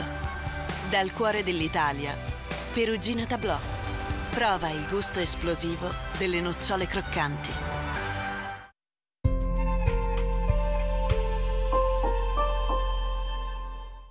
Pavimento sporco? Per fortuna c'è Supermocio. Le sue lamelle flessibili avvolgono e strizzano il fiocco con meno fatica. Con frange più larghe e rilievi 3D. Il miglior supermocio di sempre. Questo è un pavimento pulito ed è rock. Nuovo Vileda Supermocio, la rockstar del pulito.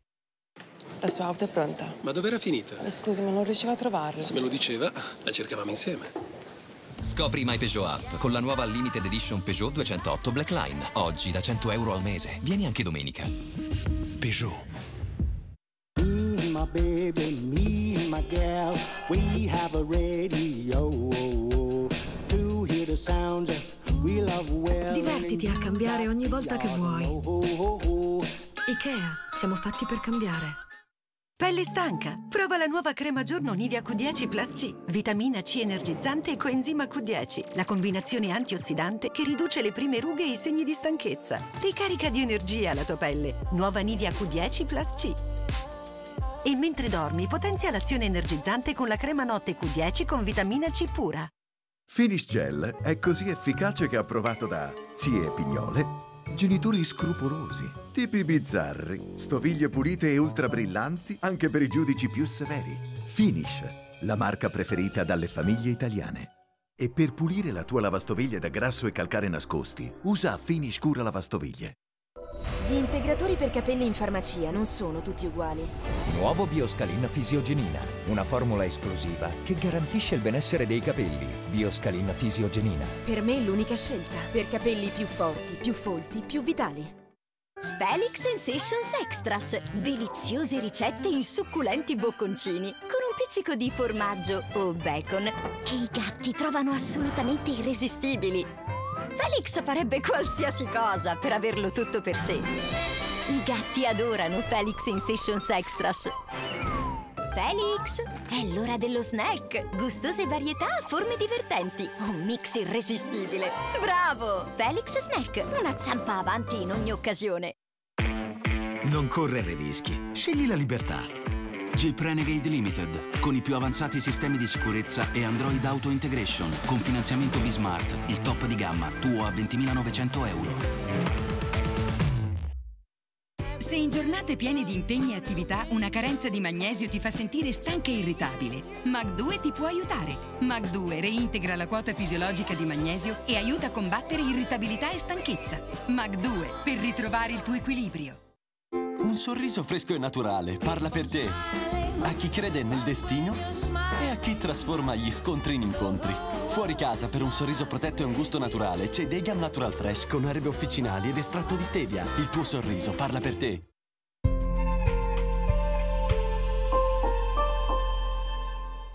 Me, my baby, me, my gal, we have a radio to hear the sounds well. Divertiti a cambiare ogni volta che vuoi. Ikea, siamo fatti per cambiare.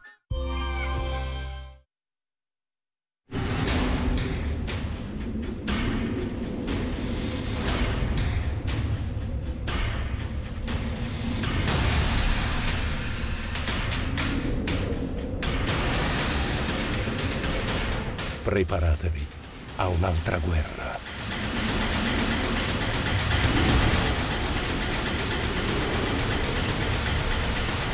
In prima visione, Vikings, la quinta stagione, da lunedì alle 21, Rai 4. In nome del popolo italiano, la terza Un giorno in pretura, il programma firmato Roberta Petrelluzzi, compie 30 anni. Ha fatto entrare l'Italia nelle aule di giustizia. Gina Salvatore, 1930, Corleone. Ha raccontato la disperazione e il coraggio. Durante la degenza Albertini, Stefano Cucchi ha perso 10 kg. Vogliamo sapere la verità. La crudeltà e l'orrore. I rapporti con suo padre come sono stati? C'è diventato 8-9 anni. Gli anni bui del nostro paese. Ha mai avuto rapporti di tipo personale? No, no, assolutamente. Allora questo omaggio di tipo personale, perché glielo doveva fare? Come sempre, senza filtri e senza finzioni, torna Un giorno in pretura. Sabato, seconda serata. Rai 3.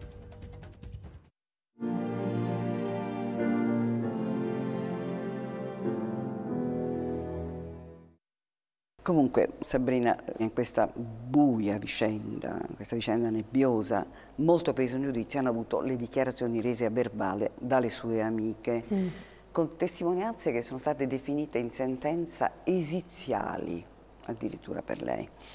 Perché sempre a proposito del suo stato d'animo nei confronti di Sara, relativo naturalmente a quei giorni, Mariangela Spagnoletti ha invece dichiarato a verbale che proprio il 25 sera, cioè vigilia di tragedia, mentre eravate in macchina dirette al pub, lei Sabrina aveva cazziato di brutto Sara, sempre per via del solito Ivano.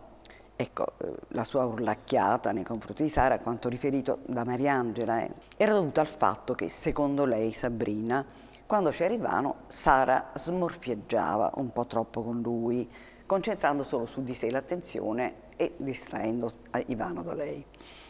Allora Sabrina, anzitutto, quell'ultima sera, intendo la sera che, che ha preceduto la tragedia, ecco, c'è stato, come ha detto Mariangela, questa gelosa litigata fra lei... Questo è quello che dichiara lei.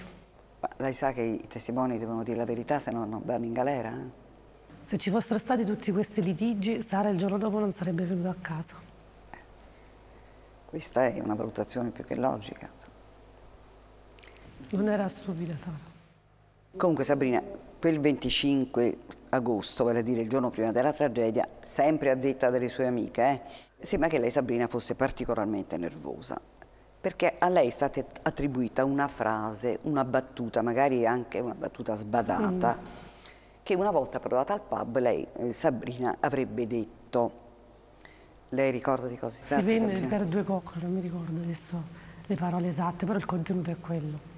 Però prima di questo, di questa frase che lei avrebbe detto nei, nei confronti di, eh, di- di Sara, praticamente allora arrivate al pub e mh, una volta arrivate al pub, e questa in verità sembra una sequenza da, da- da telenovela messicana, tale Stefania, non so, lei ricorda che lei ha un'amica che si chiama Stefania, eh, ha testimoniato che sempre quel 25 sera Eh, lei questa Sabrina... non era un'amica, era una cliente, è diverso. Vabbè, comunque una, una signora, si chiama Stefania, insomma, stava al pub quel 25 sera che è vigilia di tragedia. Subito dopo esservi salutate, lei, riferendosi al suo rapporto con Ivano, eh, la- avrebbe annunziato a voce spiegata questa volta è davvero finita. questa volta è davvero, sì, questa è la frase, non mi ricordavo le parole esatte.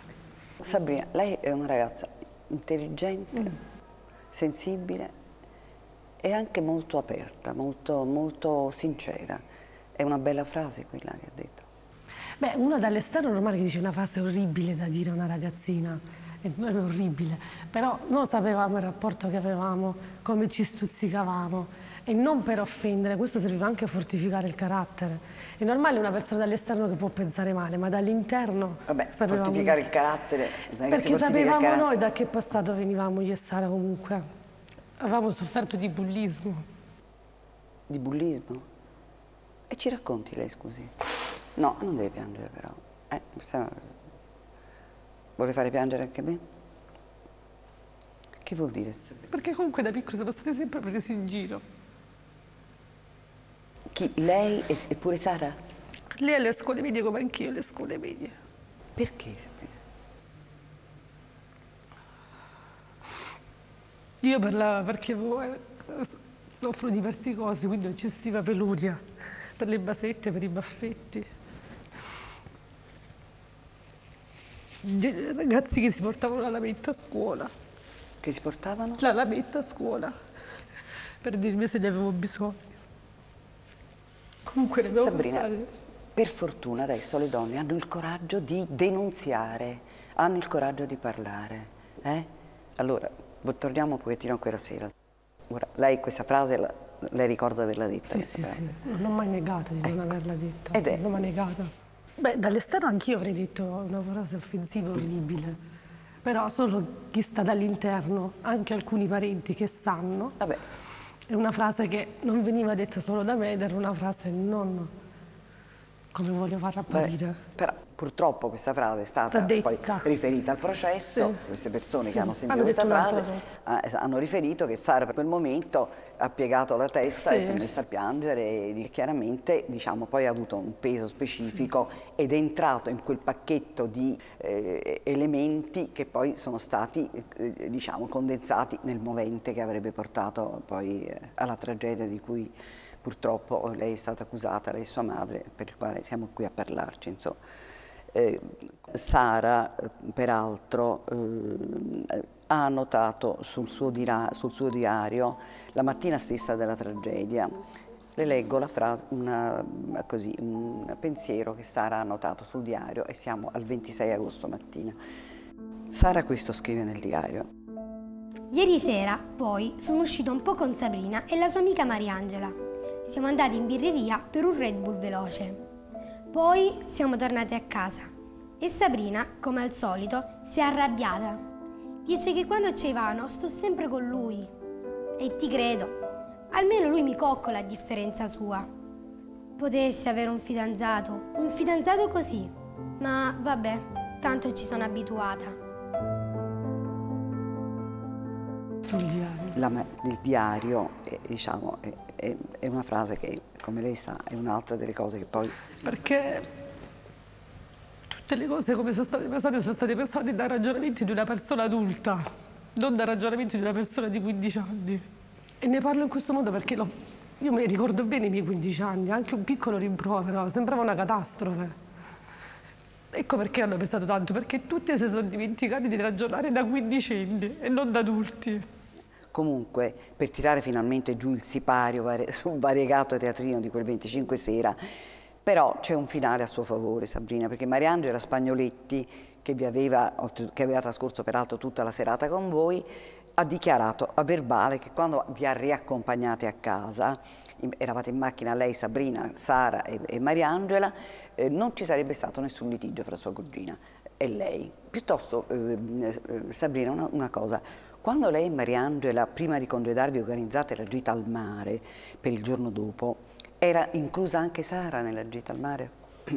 Io l'ho dato per scontato, però, io l'ho dato per scontato, però chiedere non fa mai male.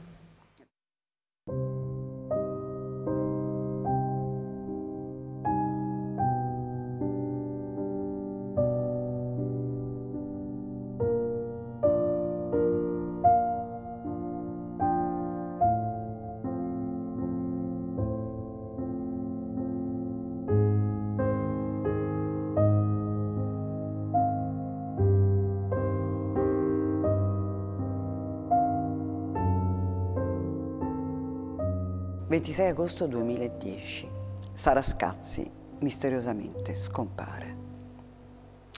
È una giornata come tante, quel 26 agosto di Avetrana, placida e lieve come lo sono le calde giornate di provincia. Vuole ricordare lei, Sabrina, come si svolge quella sua, quella, sua, quella vostra giornata? Ricordo prima mattina che dovevano venire due clienti. Se non mi sbaglio è stata la prima cliente Anna Pisano, se non ricordo male. E comunque è venuta Sara, non l'aspettavo io di mattina, la verità. È venuta Sara e ho continuato a fare la prestazione alla cliente. A che ora arriva Sara da lei, se lo ricorda? 9 del mattino. Eh, poi dopo mi ricordo che mi fa pure un favore a prendermi una crema dal negozio. Nel frattempo arriva la seconda cliente, se non ricordo male. Eh, e poi arriva Sara di nuovo con con la crema che avevo chiesto. Cioè, Sara fa dei servizietti sì, per sì, lei? Sì, per sì, mi fa un grande favore, invece di uscire io sceglie al posto mio. Cioè, quindi Sara quella mattina era ampiamente serena e disponibile sì, sì, sì, sì, non c'era stato. Ma se fosse stato un litigio non sarebbe proprio venuta Sara. Chi c'era come cliente, se lo ricorda lei? Quella mattina? Vabbè, Anna Pisanò e l'altro, mi ricordo Giovanna, non mi ricordo... Parliamo di Anna Pisanò, ecco, parliamo della signora Pisanò. La signora Pisano io è una mia cliente, l'ho conosciuta tramite una parente che frequentano stesso, lo no, stesso culto. Certo.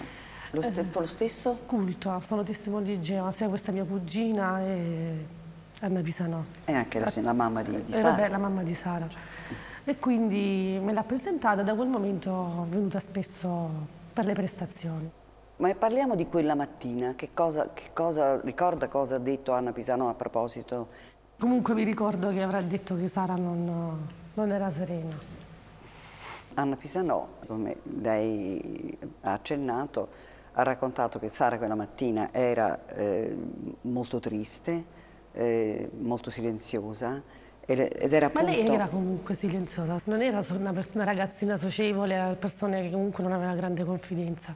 Insomma, signora Pisano era venuta da lei per rincuorare le sue grazie mh, nel, suo, nel suo, centro estetico, e però si è molto accorta, questo ha raccontato al processo, di come invece, eh, secondo lei, Sara quella mattina fosse molto, molto triste, molto Se silenziosa. Se fosse stata triste non sarebbe andata a, comprare, a farmi questo favore, a comprare la crema al posto mio.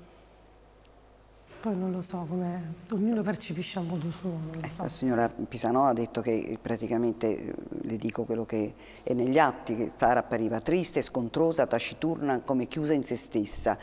E sembrava addirittura, eh, riferisco testualmente, un cane bastonato e che secondo lei era un atteggiamento insolito per Sara, che era una ragazzina sempre molto briosa. E tanto è sembrata triste la signora Pisanò, eh, Sara, quella mattina, che lei ha detto che voleva addirittura rincuorarla. Sono le sue parole. Non lei ha avuto questa impressione? No. Mm.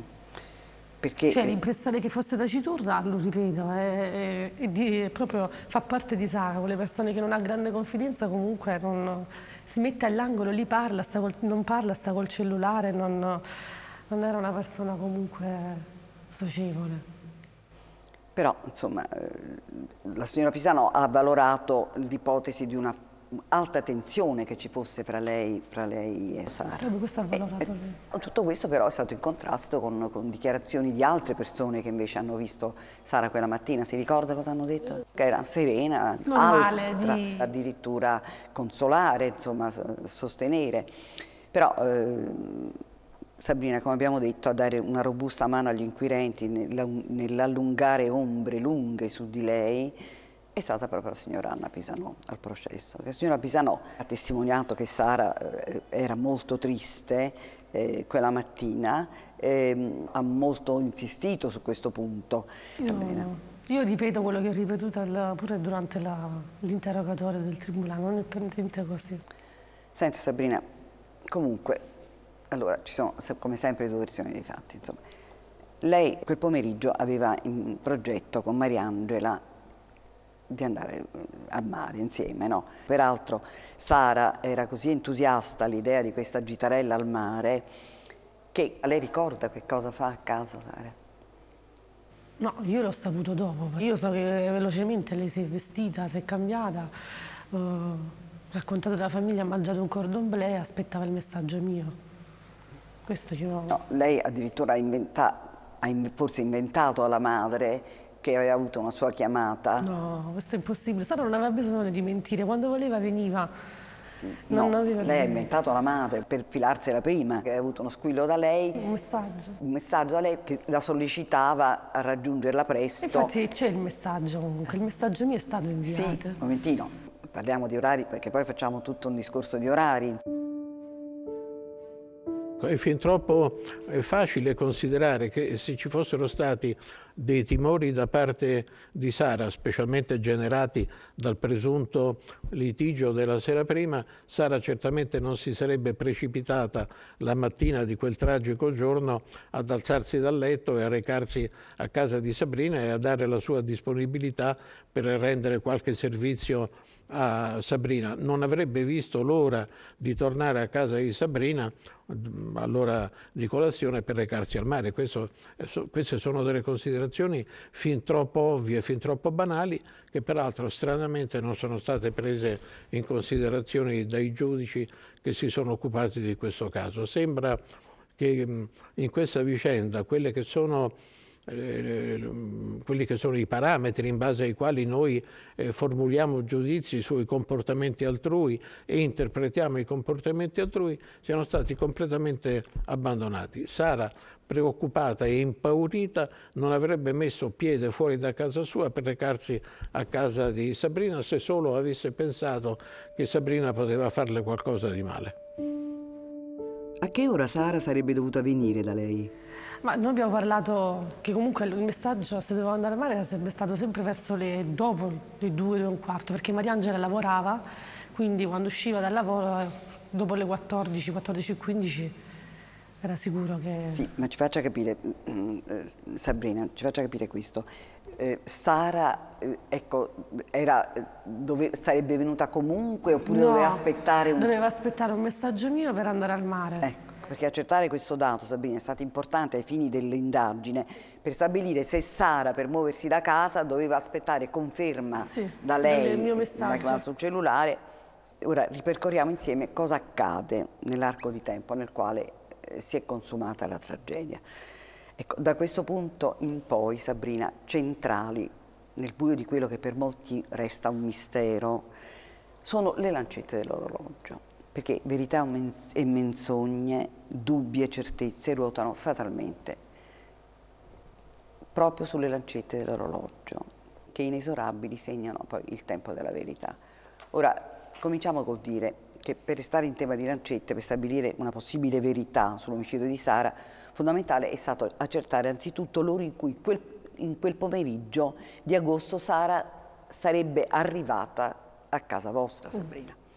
Ora, va precisato che quando si allude a casa vostra, quindi alla vostra villetta, è incluso anche, il la- garage. Tutto è incluso, tutto, incluso quando anche casa è il incluso tutto.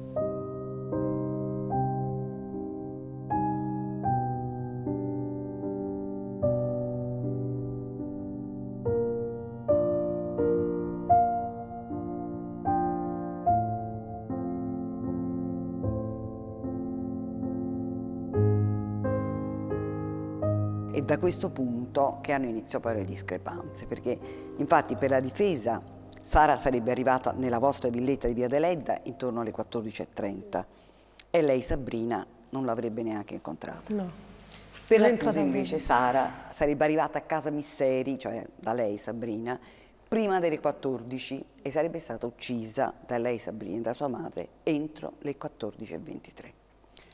Ora Sabrina, prima ma, di darmi la sua versione dei fatti, la sua verità, esaminiamo insieme la tesi dell'accusa, considerando col massimo rispetto di una verità processuale che è inchiodata in una sentenza, che i voti di questa storia i giudici hanno ritenuto indubbiamente di colmarli facendo riferimento alla logica. E la logica per i giudici anzitutto dei numeri di cellulare che sono presenti nei tabulati telefonici, con una sequenza oraria ritenuta dall'accusa altamente indicativa della responsabilità che lei, Sabrina e sua madre Cosima avreste avuto nell'omicidio di Sara. Responsabilità che entrambe disperatamente rifiutate. È così Sabrina? Ci sono Allora. tante cose che non, non- non sono corrette. Innanzitutto Sara in casa non è entrata proprio. Andiamoci per gradi, Sabrina. Ora, seguiamo intanto prima la tesi dell'accusa, poi lei mi dirà la sua versione, infatti. Allora, partendo da- dal convincimento dell'accusa definito in sentenza, che Sara Scazzi sia arrivata a casa vostra, Sabrina, intorno alle 14 e che per i due giudici alle 14.23 Sara era già stata uccisa per mano sua, Sabrina, di sua madre Cosima, Vediamo quale interpretazione, nonché quale peso specifico i giudici hanno attribuito agli sms presenti nei tabulati telefonici e ritenuti dall'accusa indicativi della sua abilità, Sabrina, nel confezionarsi l'alibi per quei 20 minuti per uccidere. Questi gli sms, ore 14, 23, 34 secondi. Per l'accusa, Sara Scazzi, che sarebbe arrivata a casa vostra alle 14, è già stata uccisa. Mariangela Spagnoletti, liberatasi dal lavoro, invia un sms a lei, Sabrina. Il tempo di mettermi un costume e vengo. Ore 14, 24 e 03 secondi. Lei, Sabrina, risponde a Mariangela. Avviso Sara. Ore 14, 24 e 30 secondi. Mariangela le risponde. Ok. Ore 14, 25 e 08 secondi. Lei, Sabrina, invia un primo sms al cellulare di Sara invitandola a prepararsi per il mare. Mettiti il costume veloce e vieni. Ore 14, 28 e 13 secondi. Lei, Sabrina, invia un secondo sms a Sara che risulta ricevuto dal cellulare di Sara. L'hai letto il messaggio? Ore 14, 28 e 26 secondi. Parte uno squillo di conferma dal telefono di Sara, diretto al suo cellulare, Sabrina. Ore 14, 28 e 40 secondi. Lei, Sabrina, scrive a Mariangela, sto tentando in bagno. Ore 14, 39 e 27 secondi. Lei, Sabrina, comunica a Mariangela, pronta. Ecco Sabrina, questi sono gli sms ai quali l'accusa ha dato un peso specifico a supporto della sua responsabilità per la tragica fine di Sara. E va detto che in verità Sabrina si fa fatica eh, a mettere insieme l'immagine di, di lei, di questa brava ragazza di provincia, dalla natura se me lo passa un po' fragile, insicura, anche un po' sprovveduta, come le ho detto, con la presunta assassina della piccola, della piccola Sara, una ragazza, lei Sabrina, che con il corpo di Sara ancora caldo, caldo della sua violenza, sarebbe riuscita con una lucidità e una freddezza degne di un killer professionista a intrecciare mirati sms con le amiche per crearsi un alibi, Sabrina. Non so proprio come si fa a immaginare una cosa del genere. Perché se così fosse, Sabrina, come i giudici hanno ritenuto, il suo sarebbe un comportamento eh, di questo tipo. eh, Da se- killer seriale proprio. se così fosse, come i giudici hanno ritenuto, un, co- un comportamento di questo tipo sarebbe diabolico, se me lo passa. E come l'hanno descritto senz'altro. Comunque, lei Sabrina, ricorda qual è stata l'interpretazione che di questi messaggi i giudici hanno dato al processo? Sì. Me la vuole dire lei? Allora hanno, dichiarato di aver fatto tutto da sola, di aver usato io il cellulare di Sara a mandare a me stesso i messaggi. Io non avrei mai avuto questo pensiero. Cioè non so proprio da dove è venuta questa logica, non riesco a capirla. Cioè, la logica reale è quella, io dovevo avvisare Sara quando c'era l'app- c'era l'appuntamento per andare al mare, la dovevo avvisare io, ho mandato il messaggio, il messaggio c'è. Perché Sara doveva uscire prima? Perché? Non aveva bisogno di dire la bugia per andarsi a fare le pulizie, non ha mai fatte le pulizie, perché? A parte che non, so, non sapevo neanche usare il cellulare di Sara io, che è un cellulare nuovo, comprato proprio nel mese di agosto. Innanzitutto. Vabbè, questo- Poi una mente, cioè per fare una, una cosa del genere devi essere un, come devo dire, un killer seriale, cioè proprio specializzato a fare questi crimini. Cioè, non lo so. Mi sembra di vedere un film, non la realtà. È un film che l'ha portata qui, Sabrina, purtroppo. Perché sto pagando.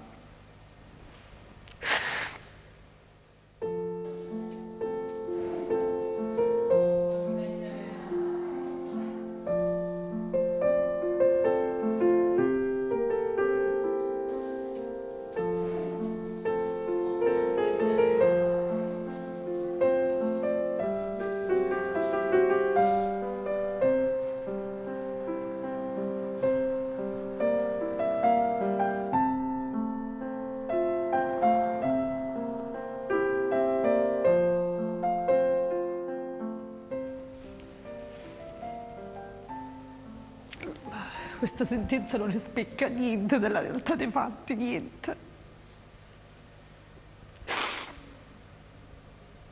Non c'è una briciola che rispecchia della verità di quello che hanno detto i giudici.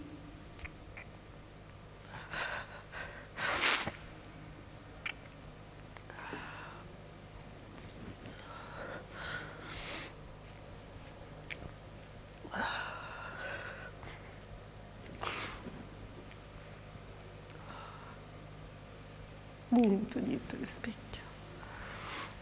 Sabrina, quando mancano elementi di valutazione certi, in sede di giudizio i magistrati fanno ricorso alla logica e per loro la logica è stata quella che quando Mariangela Spagnoletta alle 14.23 le invia un sms per avvisarla che liberatasi dal lavoro si infilava il costume e passava a prenderla, lei Sabrina, che per l'accusa aveva già ucciso Sara, risponde a Mariangela che avrebbe avvertito sua cugina. Un espediente questo, secondo i giudici, per indicare che Sara fino a quel momento a casa sua Sabrina non si era vista, non era venuta. Infatti non era venuta. Di più, per l'accusa, i due sms che lei Sabrina, come del resto lei ha detto, invia Sara per invitarla a prepararsi per, per, per andare al mare, nonché lo squillo di conferma che era partito alle 14.28 dal cellulare di Sara, appunto per conferma, per i giudici li avrebbe inviati tutti lei, Sabrina, col cellulare di Sara, del quale lei era in possesso in quanto che Sara era ormai senza vita. Per accettare una cosa del genere perché si ha già il pregiudizio nei confronti di una persona. Perché di logico cosa c'è? Se io per crearmi un alibi non avrei fatto venire neanche Mariangela, anzi avrei cercato di allontanare la situazione per stare più tranquilla. Non è così. Comunque, alle 14.39 lei Sabrina invia un altro sms, abbiamo detto a Mariangela, sì. per dire che era pronta. Ecco. Alle 14.42 lei Sabrina e Mariangela vi incontrate, sì. vero? Quando io ero pronta, sono andata sotto la veranda, è arrivata Mariangela. Io a Mariangela ho chiesto se Sara l'aveva vista per strada, perché comunque Mariangela faceva lo stesso tragitto di Sara quando doveva venire con la macchina. L'ho chiesto a lei prima ancora, l'ho chiesto a mio padre però se stava vedendo Sara arrivare. Dov'era suo padre? In cantina era. Io me ne sono accorta Dov'era? Quando, in cantina. Me ne sono accorta quando ho sentito il rumore del portone. Scusi, ecco, quindi una cosa voglio capire. Lei ha sostenuto che mentre aspettava che venisse Mariangela, lei era in veranda, vero? Sì. Era in veranda. Ecco, a quanto risulta dagli atti, lei ha dichiarato che mentre era lì in veranda, e siamo intorno alle 14.42, lei ha parlato con suo padre. Sì. È così? Ecco, dove era suo padre? Era in cantina, io l'ho sentito il Come rumore. in cantina? Sì. Come faceva a parlare con suo padre? Perché ho sentito il rumore del portone chiudere e ho detto chi è e poi mio padre ha risposto io. Io non sapevo che mio padre fosse in cantina. cantina. Ecco. Ma lei ha detto invece che suo padre era all'esterno del garage. Dopo. Io detto, dopo quando è arrivata Mariangela l'ho visto fare il su e giù dal, dalla cantina. Però inizialmente ho sentito il rumore del portone, siccome mio padre aveva l'abitudine di non chiudere a chiave, ho pensato che ci fosse qualcuno dentro, poi invece ha risposto mio padre. Quindi lei non l'ha visto in faccia suo padre? No, no, dalla veranda no. Quindi, insomma, vi siete parlati senza vedervi? Sì, senza vederci. Ecco. Quindi non può dire ecco, che, come le è sembrato suo no. padre, insomma, che... In quel momento no. Quando l'ha visto, scusi? Quando è arrivata Mariangela con la macchina, che sono scesa giù per la strada, io ho visto mio padre che stava preparando la macchina perché il trattore non partiva. Quindi lei eh, ha notato qualcosa di strano lei in suo padre? No. Non ho notato niente di strano.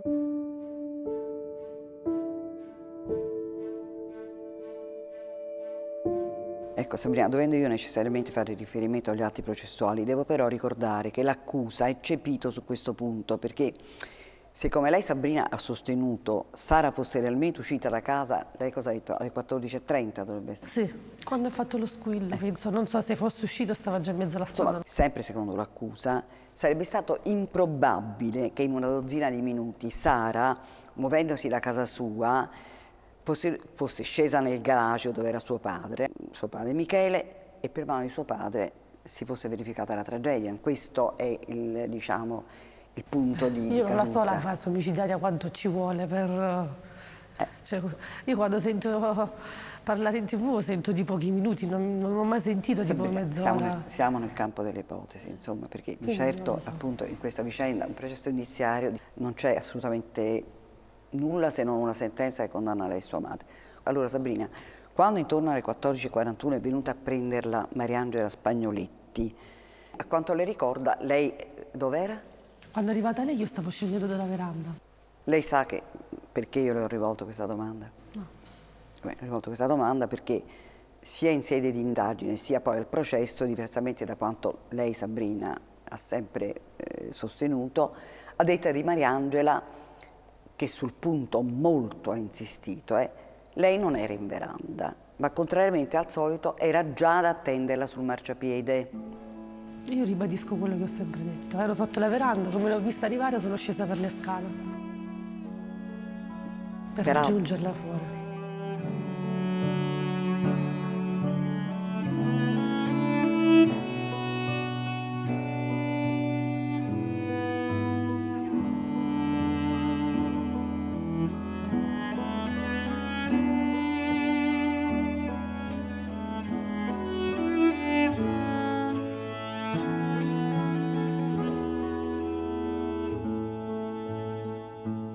Sono due tesi completamente opposte. Mariangela dice che, che lei era già per strada, lei invece Sabrina dice che era in veranda.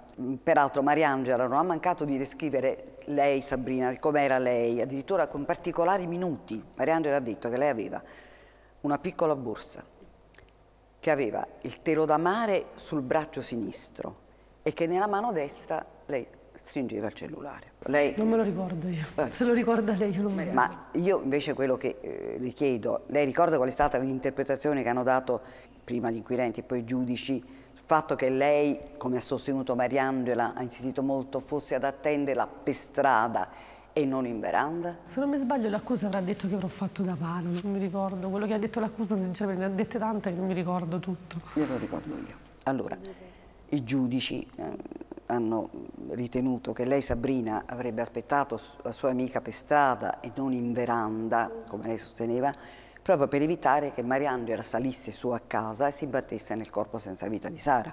Mariangela ha insistito sul punto che lei fosse ad attenderla per strada e non in veranda come al solito. Sicuro in veranda perché in veranda è più fresco, in mezzo alla strada fa troppo caldo. Poi ricorda che cos'altro ha detto Mariangela? Sabrina? No, non mi ricordo. Ma tante cose, guarda, oramai le sto cancellando man mano. Devo ricordarle che Mariangela ha dichiarato inoltre che lei, Sabrina, all'inizio appariva tranquilla e anzi come prima cosa lei avrebbe chiesto a Mariangela, cosa le ha chiesto? Sì, se avesse visto Sara me lo ricordo perché appena arrivò gliel'ho chiesto. Se avesse visto Sara, sì. Non solo? Poi che altro avrebbe fatto lei, se lo ricorda? Ho chiamato subito il cellulare di Sara, me lo ricordo, che ha squillato più volte senza risposta. Poi, se non ricordo male, ho richiamato di nuovo e mentre salivo nella macchina di Mariangela. Non risultava più raggiungibile. A quel punto lei ricorda cosa, cosa ha raccontato Mariangela? Non mi ricordo, io mi, io mi ricordo soltanto che mi sembrava strano che Sara non fosse arrivata perché era molto precisa. Perché sempre faccio riferimento alla testimonianza di Mariangela, a quel punto lei, Sabrina, sembra entrare in agitazione, tant'è che eh, lei è angosciata e in quello stato di ansia lei avrebbe detto, ha detto, l'hanno presa, l'hanno presa. Alla seconda volta non l'ho detto alla prima allora. Che vuol dire la seconda volta? Perché quando siamo saliti in macchina siamo andati da mia zia Concetta a chiedere se c'era Sara. E mia zia mio zio, perché c'era mio zio, mio zio ha detto no, adesso se n'è andata. Cioè il marito di zia Concetta. Sì, il marito di mia zia Concetta. Quando, quando sono uscita, sono andata da Mariangela e ho detto Sara non, non c'è. Conoscendo benissimo Sara, ho detto è strano che non c'è. Subito ho pensato che fosse successo qualcosa di brutto. Ma la domanda io, mm, che, che, sorge spontanea, ecco, su, su, che base lei ha potuto ipotizzare che Sara fosse stata rapita? Sulla base che Sara non c'era a casa, non stava a casa mia, non stava a casa di mio, di mio zio Concetto dove doveva andare Sara. Sara non si sarebbe mai permessa di andare a casa di una persona senza avvisare. E dove? Adesso non voglio fare il pubblico ministero eh. e non, non mi compete, però ecco, Avetrana, eh, Sabrina, è una località dove si erano verificati in precedenza episodi di questo tipo? No. Eh, insomma, perché lei formula un'ipotesi così drammatica, catastrofica, neanche se Avetrana fosse, che le voglio dire, la locride de, de, dei sequestri degli anni 70, insomma. Ecco, come le viene in mente di dire l'hanno presa, l'hanno presa, eh, conoscendo le abitudini di Sara, sapevo che era successo qualcosa, non era una cosa normale. L'hanno preso e che per forza Sara non sarebbe mai andata da nessuna parte. Però io adesso de mi devo mettere dalla parte sì. dei giudici. Quello che ha sorpreso di lei è proprio questa sua angoscia immedi così immediata, questa sua eh, visione catastrofica di quello che potesse essere successo a Sara. Lei sa che questo è stato uno dei cardini su cui ha ruotato Sì, ma questa è la cosa, secondo me, più, questa frase secondo me è la più plausibile di una persona che comunque è attaccata alla cugina e sa le abitudini e sa che qualcosa di grave è successo. Questa è anche una valutazione giusta, però ricorda cosa fate lei e Mariangela dopo allora tutti i giri che abbiamo fatto io non me li ricordo perché lo stavo a pensare lì che dovevo memorizzare per poi andarli a raccontare davanti a un inquirente. Io mi ricordo soltanto che abbiamo girato per cercarla, mi ricordo che siamo andati in caserma, io non mi ricordo l'ordine cronologico.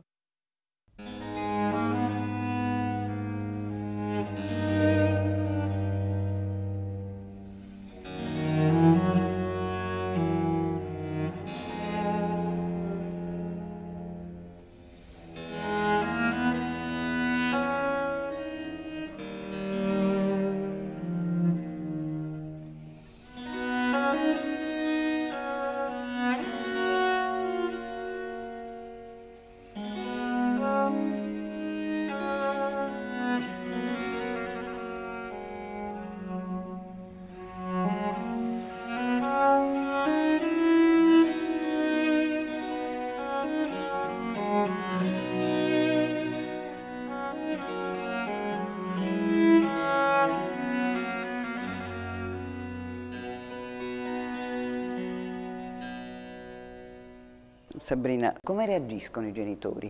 La Beh, la seconda papà? volta subito a pensare è successo qualche cosa, mia zia, subito a fare le ricerche, a cercare Sara. Cosa fanno poi loro? E vanno in caserma. E vanno la prima volta e poi dopo vanno di nuovo per fare la denuncia. E invece lei e Mariangela cosa fate? Eh, non mi ricordo che cosa facciamo. Cioè, cioè io sono andata pure in caserma. Andate in giro? Poi ci siamo divisi, io con mamma, sì. poi lei con Alessio. Senta Sabrina, ma lei avverte anche Ivano? Sì, che... sì, sì. E lui?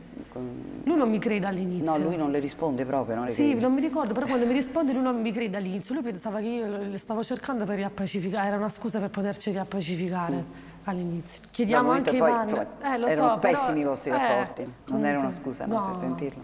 Non l'avrei proprio chiamato. Eh, no, che scusa era? Non c'era veramente era scomparsa Sara, cioè non era una scusa questa. Assolutamente no. Sabrina, ma lei e Mariangela cosa fate poi? Non so, andate in giro anche voi a cercare Sara, sì. mettete voce fra gli amici, cosa fate? Sì, sì, andiamo in giro a cercare, io inizio pure a telefonare un altro mio amico, Alessio, comunque ad aumentare le ricerche comunque quel pomeriggio. Senta Sabrina, c'è un altro punto sul quale il processo molto si è discusso, sul fatto che lei, Sabrina, e la sua mamma Cosima, la stessa sera nella quale eh, di Sara si erano perse le tracce, vi presentate a casa Scazzi e chiedete, nonché ottenete peraltro dalla mamma di, di, di Sara, dalla signora Concetta, di prendere visione dei diari di Sara. Ma eh, lei ci spiega perché in quel frangente lei sente il bisogno di di, no, da... entrare nei pensieri, nell'intimità no, no, di lì mi ragazza. fu detto da un carabiniere al telefono, mi fu detto di vedere dei diari se c'era qualche cosa. Non sono andata io spontaneamente ad andare... Mi permette di dubitarne? Perché I tabulati ci sono, Vabbè. i tabulati ci sono, i carabinieri mi hanno detto di vedere se c'era ah, qualcosa. I carabinieri ci vanno direttamente. E infatti poi dopo, eh, dopo gli è stato stati consegnati. Lei, eh, eh, no, mi è stato detto questo, mi è stato detto questo si assume la responsabilità di quello che dice. Ma lei ricorda qual è stata l'interpretazione che è stata data in sede, no, in sede di giudizio? No.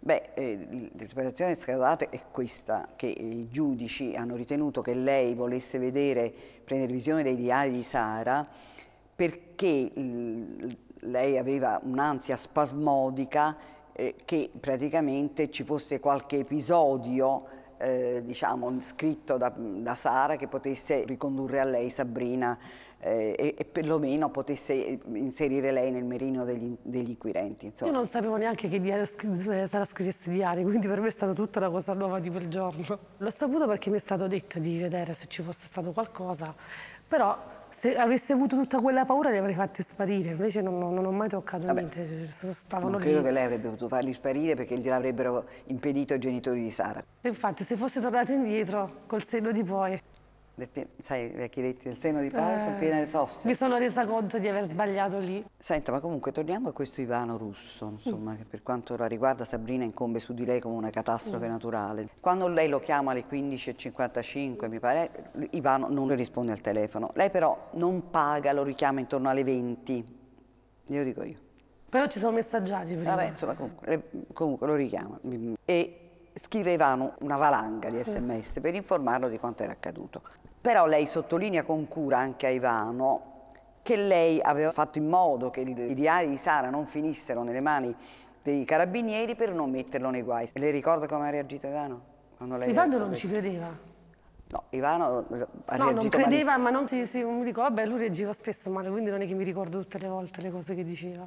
Ivano la manda a quel paese, sostanzialmente le scrive in un sms ma che stai dicendo, non mi mettere in mezzo a sta storia. Sì, perché lui non credeva. Eh. Dopo ci sono altri messaggi dove lui dice che non riesce comunque a credere a quello che gli stavo dicendo. Non mi credeva. Comunque, lui reagisce malissimo e, e un fatto è certo, eh, Sabrina, che lei non riusciva proprio a uscire da questo ingorgo mentale targato Ivano Russo. Io penso che quando Sara è uscita di casa qualcuno abbia avvertito eh, persone che poi l'avrebbero aggredita. Queste persone mm, siamo familiari ovviamente. Cioè? Mi scusi se, se insisto, però sono è una frase io, un po'... Sono io, mio marito, la badante, mia nipote, l'amica di mia nipote, che indagassero sui familiari di Sara perché solo noi sapevamo che Sara usciva quel pomeriggio e poi era un appuntamento ehm, così casuale. Senta Sabrina, ecco, ma in tutto questo, dopo la scomparsa di Sara, com'erano i rapporti fra le vostre famiglie? Intendo la famiglia Misseri e la famiglia Scazzi, insomma. I... Diciamo che io e mia mamma stavamo spesso a casa di mia zia per le ricerche. Uh, poi abbiamo attaccato anche i volantini, io ho preparato i volantini con le fotocopie, con le mie amiche, con i miei amici, attaccavamo la notte i volantini per i bar. Uh, Quindi rapporti buoni, sì, insomma, fino, rapporti sì. intensi anche. Ecco, comunque Sabrina, passano i giorni senza Sara e aumenta l'ansia, aumenta l'angoscia, però aumenta anche in modo esponenziale l'interesse dei media, perché la scomparsa di Sara Scazzi diventa il caso a Vetrana. Ecco, sul piano mediatico, in particolare sul piano televisivo soprattutto, è lei, Sabrina, che nei giorni successivi alla scomparsa di Sara viene letteralmente presa d'assalto. Se lo ricorda lei sì? Sì. Come no? Lei ne ha date tante interviste, vero? Sì.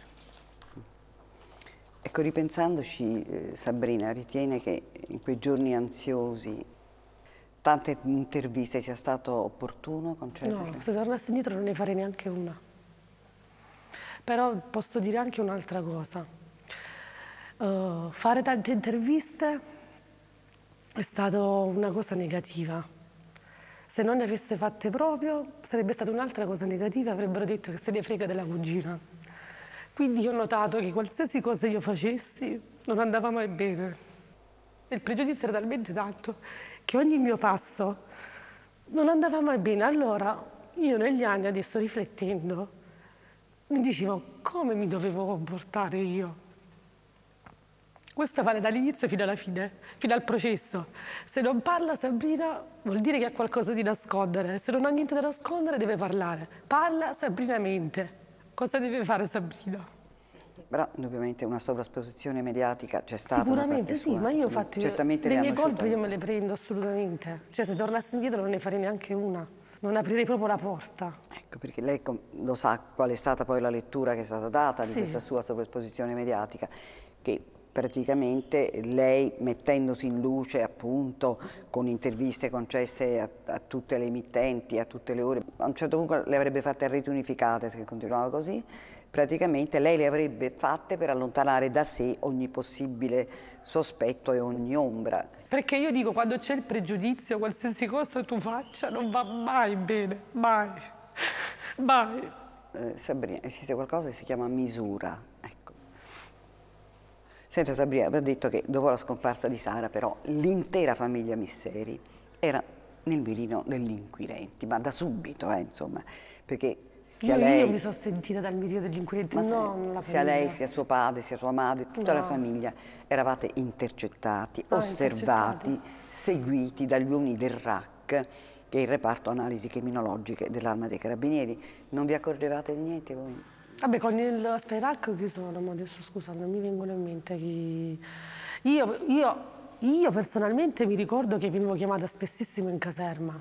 Io.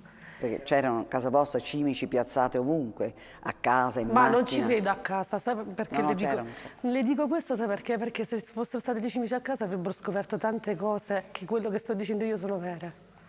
Dentro casa, magari ci fossero state, io quello dico, magari ci fossero state, invece dentro casa no, nella macchina sì, ma dentro casa no. Perché sin da subito voi siete stati seguiti, intercettati, e segno che sin da subito gli inquirenti avevano il sospetto che, qualcu- che era nella cerchia familiare che andava cercata il, il- così, il responsabile di questa scomparsa, chiamiamolo così. Quindi eravate tranquilli? Io sì, abbastanza. Io eh, più che tranquilla, io ero in ansia perché non si riusciva a trovare Sara. A Vetrana da quel 26 agosto, da quel pomeriggio di scomparsa, le giornate si susseguono fra acrobazie dell'immaginario, interviste carpite o concordate e ricerche frenetiche e infruttuose. Fino a quando il 29 settembre, a distanza di 40 giorni dalla scomparsa di Sara, 40 come una buia quaresima, c'è un primo clamoroso colpo di scena. Un colpo di scena che scompagina l'immobile geografia di quel mistero. Misteriosamente ricompare il cellulare di Sara. È privo di batteria, è parzialmente bruciato, ma il codice numerico è perfettamente leggibile e, e non lascia spazio al dubbio. Il cellulare l'ho trovato per un cacciavite, perché la sera prima me l'avevo dimenticato, terzo albero. La mattina sono venuto di questa strada, parcheggiato la macchina qui e io scendendo di qui per andare al cacciavite, di qua, sono arrivato qua e ho visto il cellulare che, tutto argentato che faceva sopra. Allora io a quel momento l'ho preso e l'ho usato e girato. Io certamente pensavo che fosse pure del collega che se l'avesse bruciato. Ma però dopo quando ho guardato a terra, che ho visto questi due ciondoli, beh, l'ho buttato a terra il telefono. Sono, andato, ho telefonato subito a Sabrina per dire a Sabrina se Sara aveva questi due ciondoli. Sabrina mi ha detto di sì. Allora io l'ho lasciato, sono andato a casa e abbiamo, ho telefonato al brigadiere e abbiamo fatto il sopralluogo. Ho avuto un fulmine al cuore, balbetta turbato Michele Misseri. E racconta al brigadiere Blaiotta dei carabinieri di Avetrana, con cui peraltro subito si mette in contatto, di essere andato a lavorare in contrada Chiepo, in un terreno dove aveva lavorato il giorno prima, così ha detto suo padre, e di avere visto lì su un masso quel telefonino. Mi sentivo che era di Sara, piagnucola Michele Misseri davanti ai carabinieri. E si sentiva indubbiamente bene Michele, perché, perché quel cellulare era di Sara, ma a mettercelo lì perché fosse ritrovato era stato lui, suo padre. Ecco, e quel singolare, così improbabile ritrovamento però apre una breccia insperata nell'oscurità delle indagini. Senta Sabrina, perché a suo avviso suo padre ha fatto ritrovare il cellulare di Sara?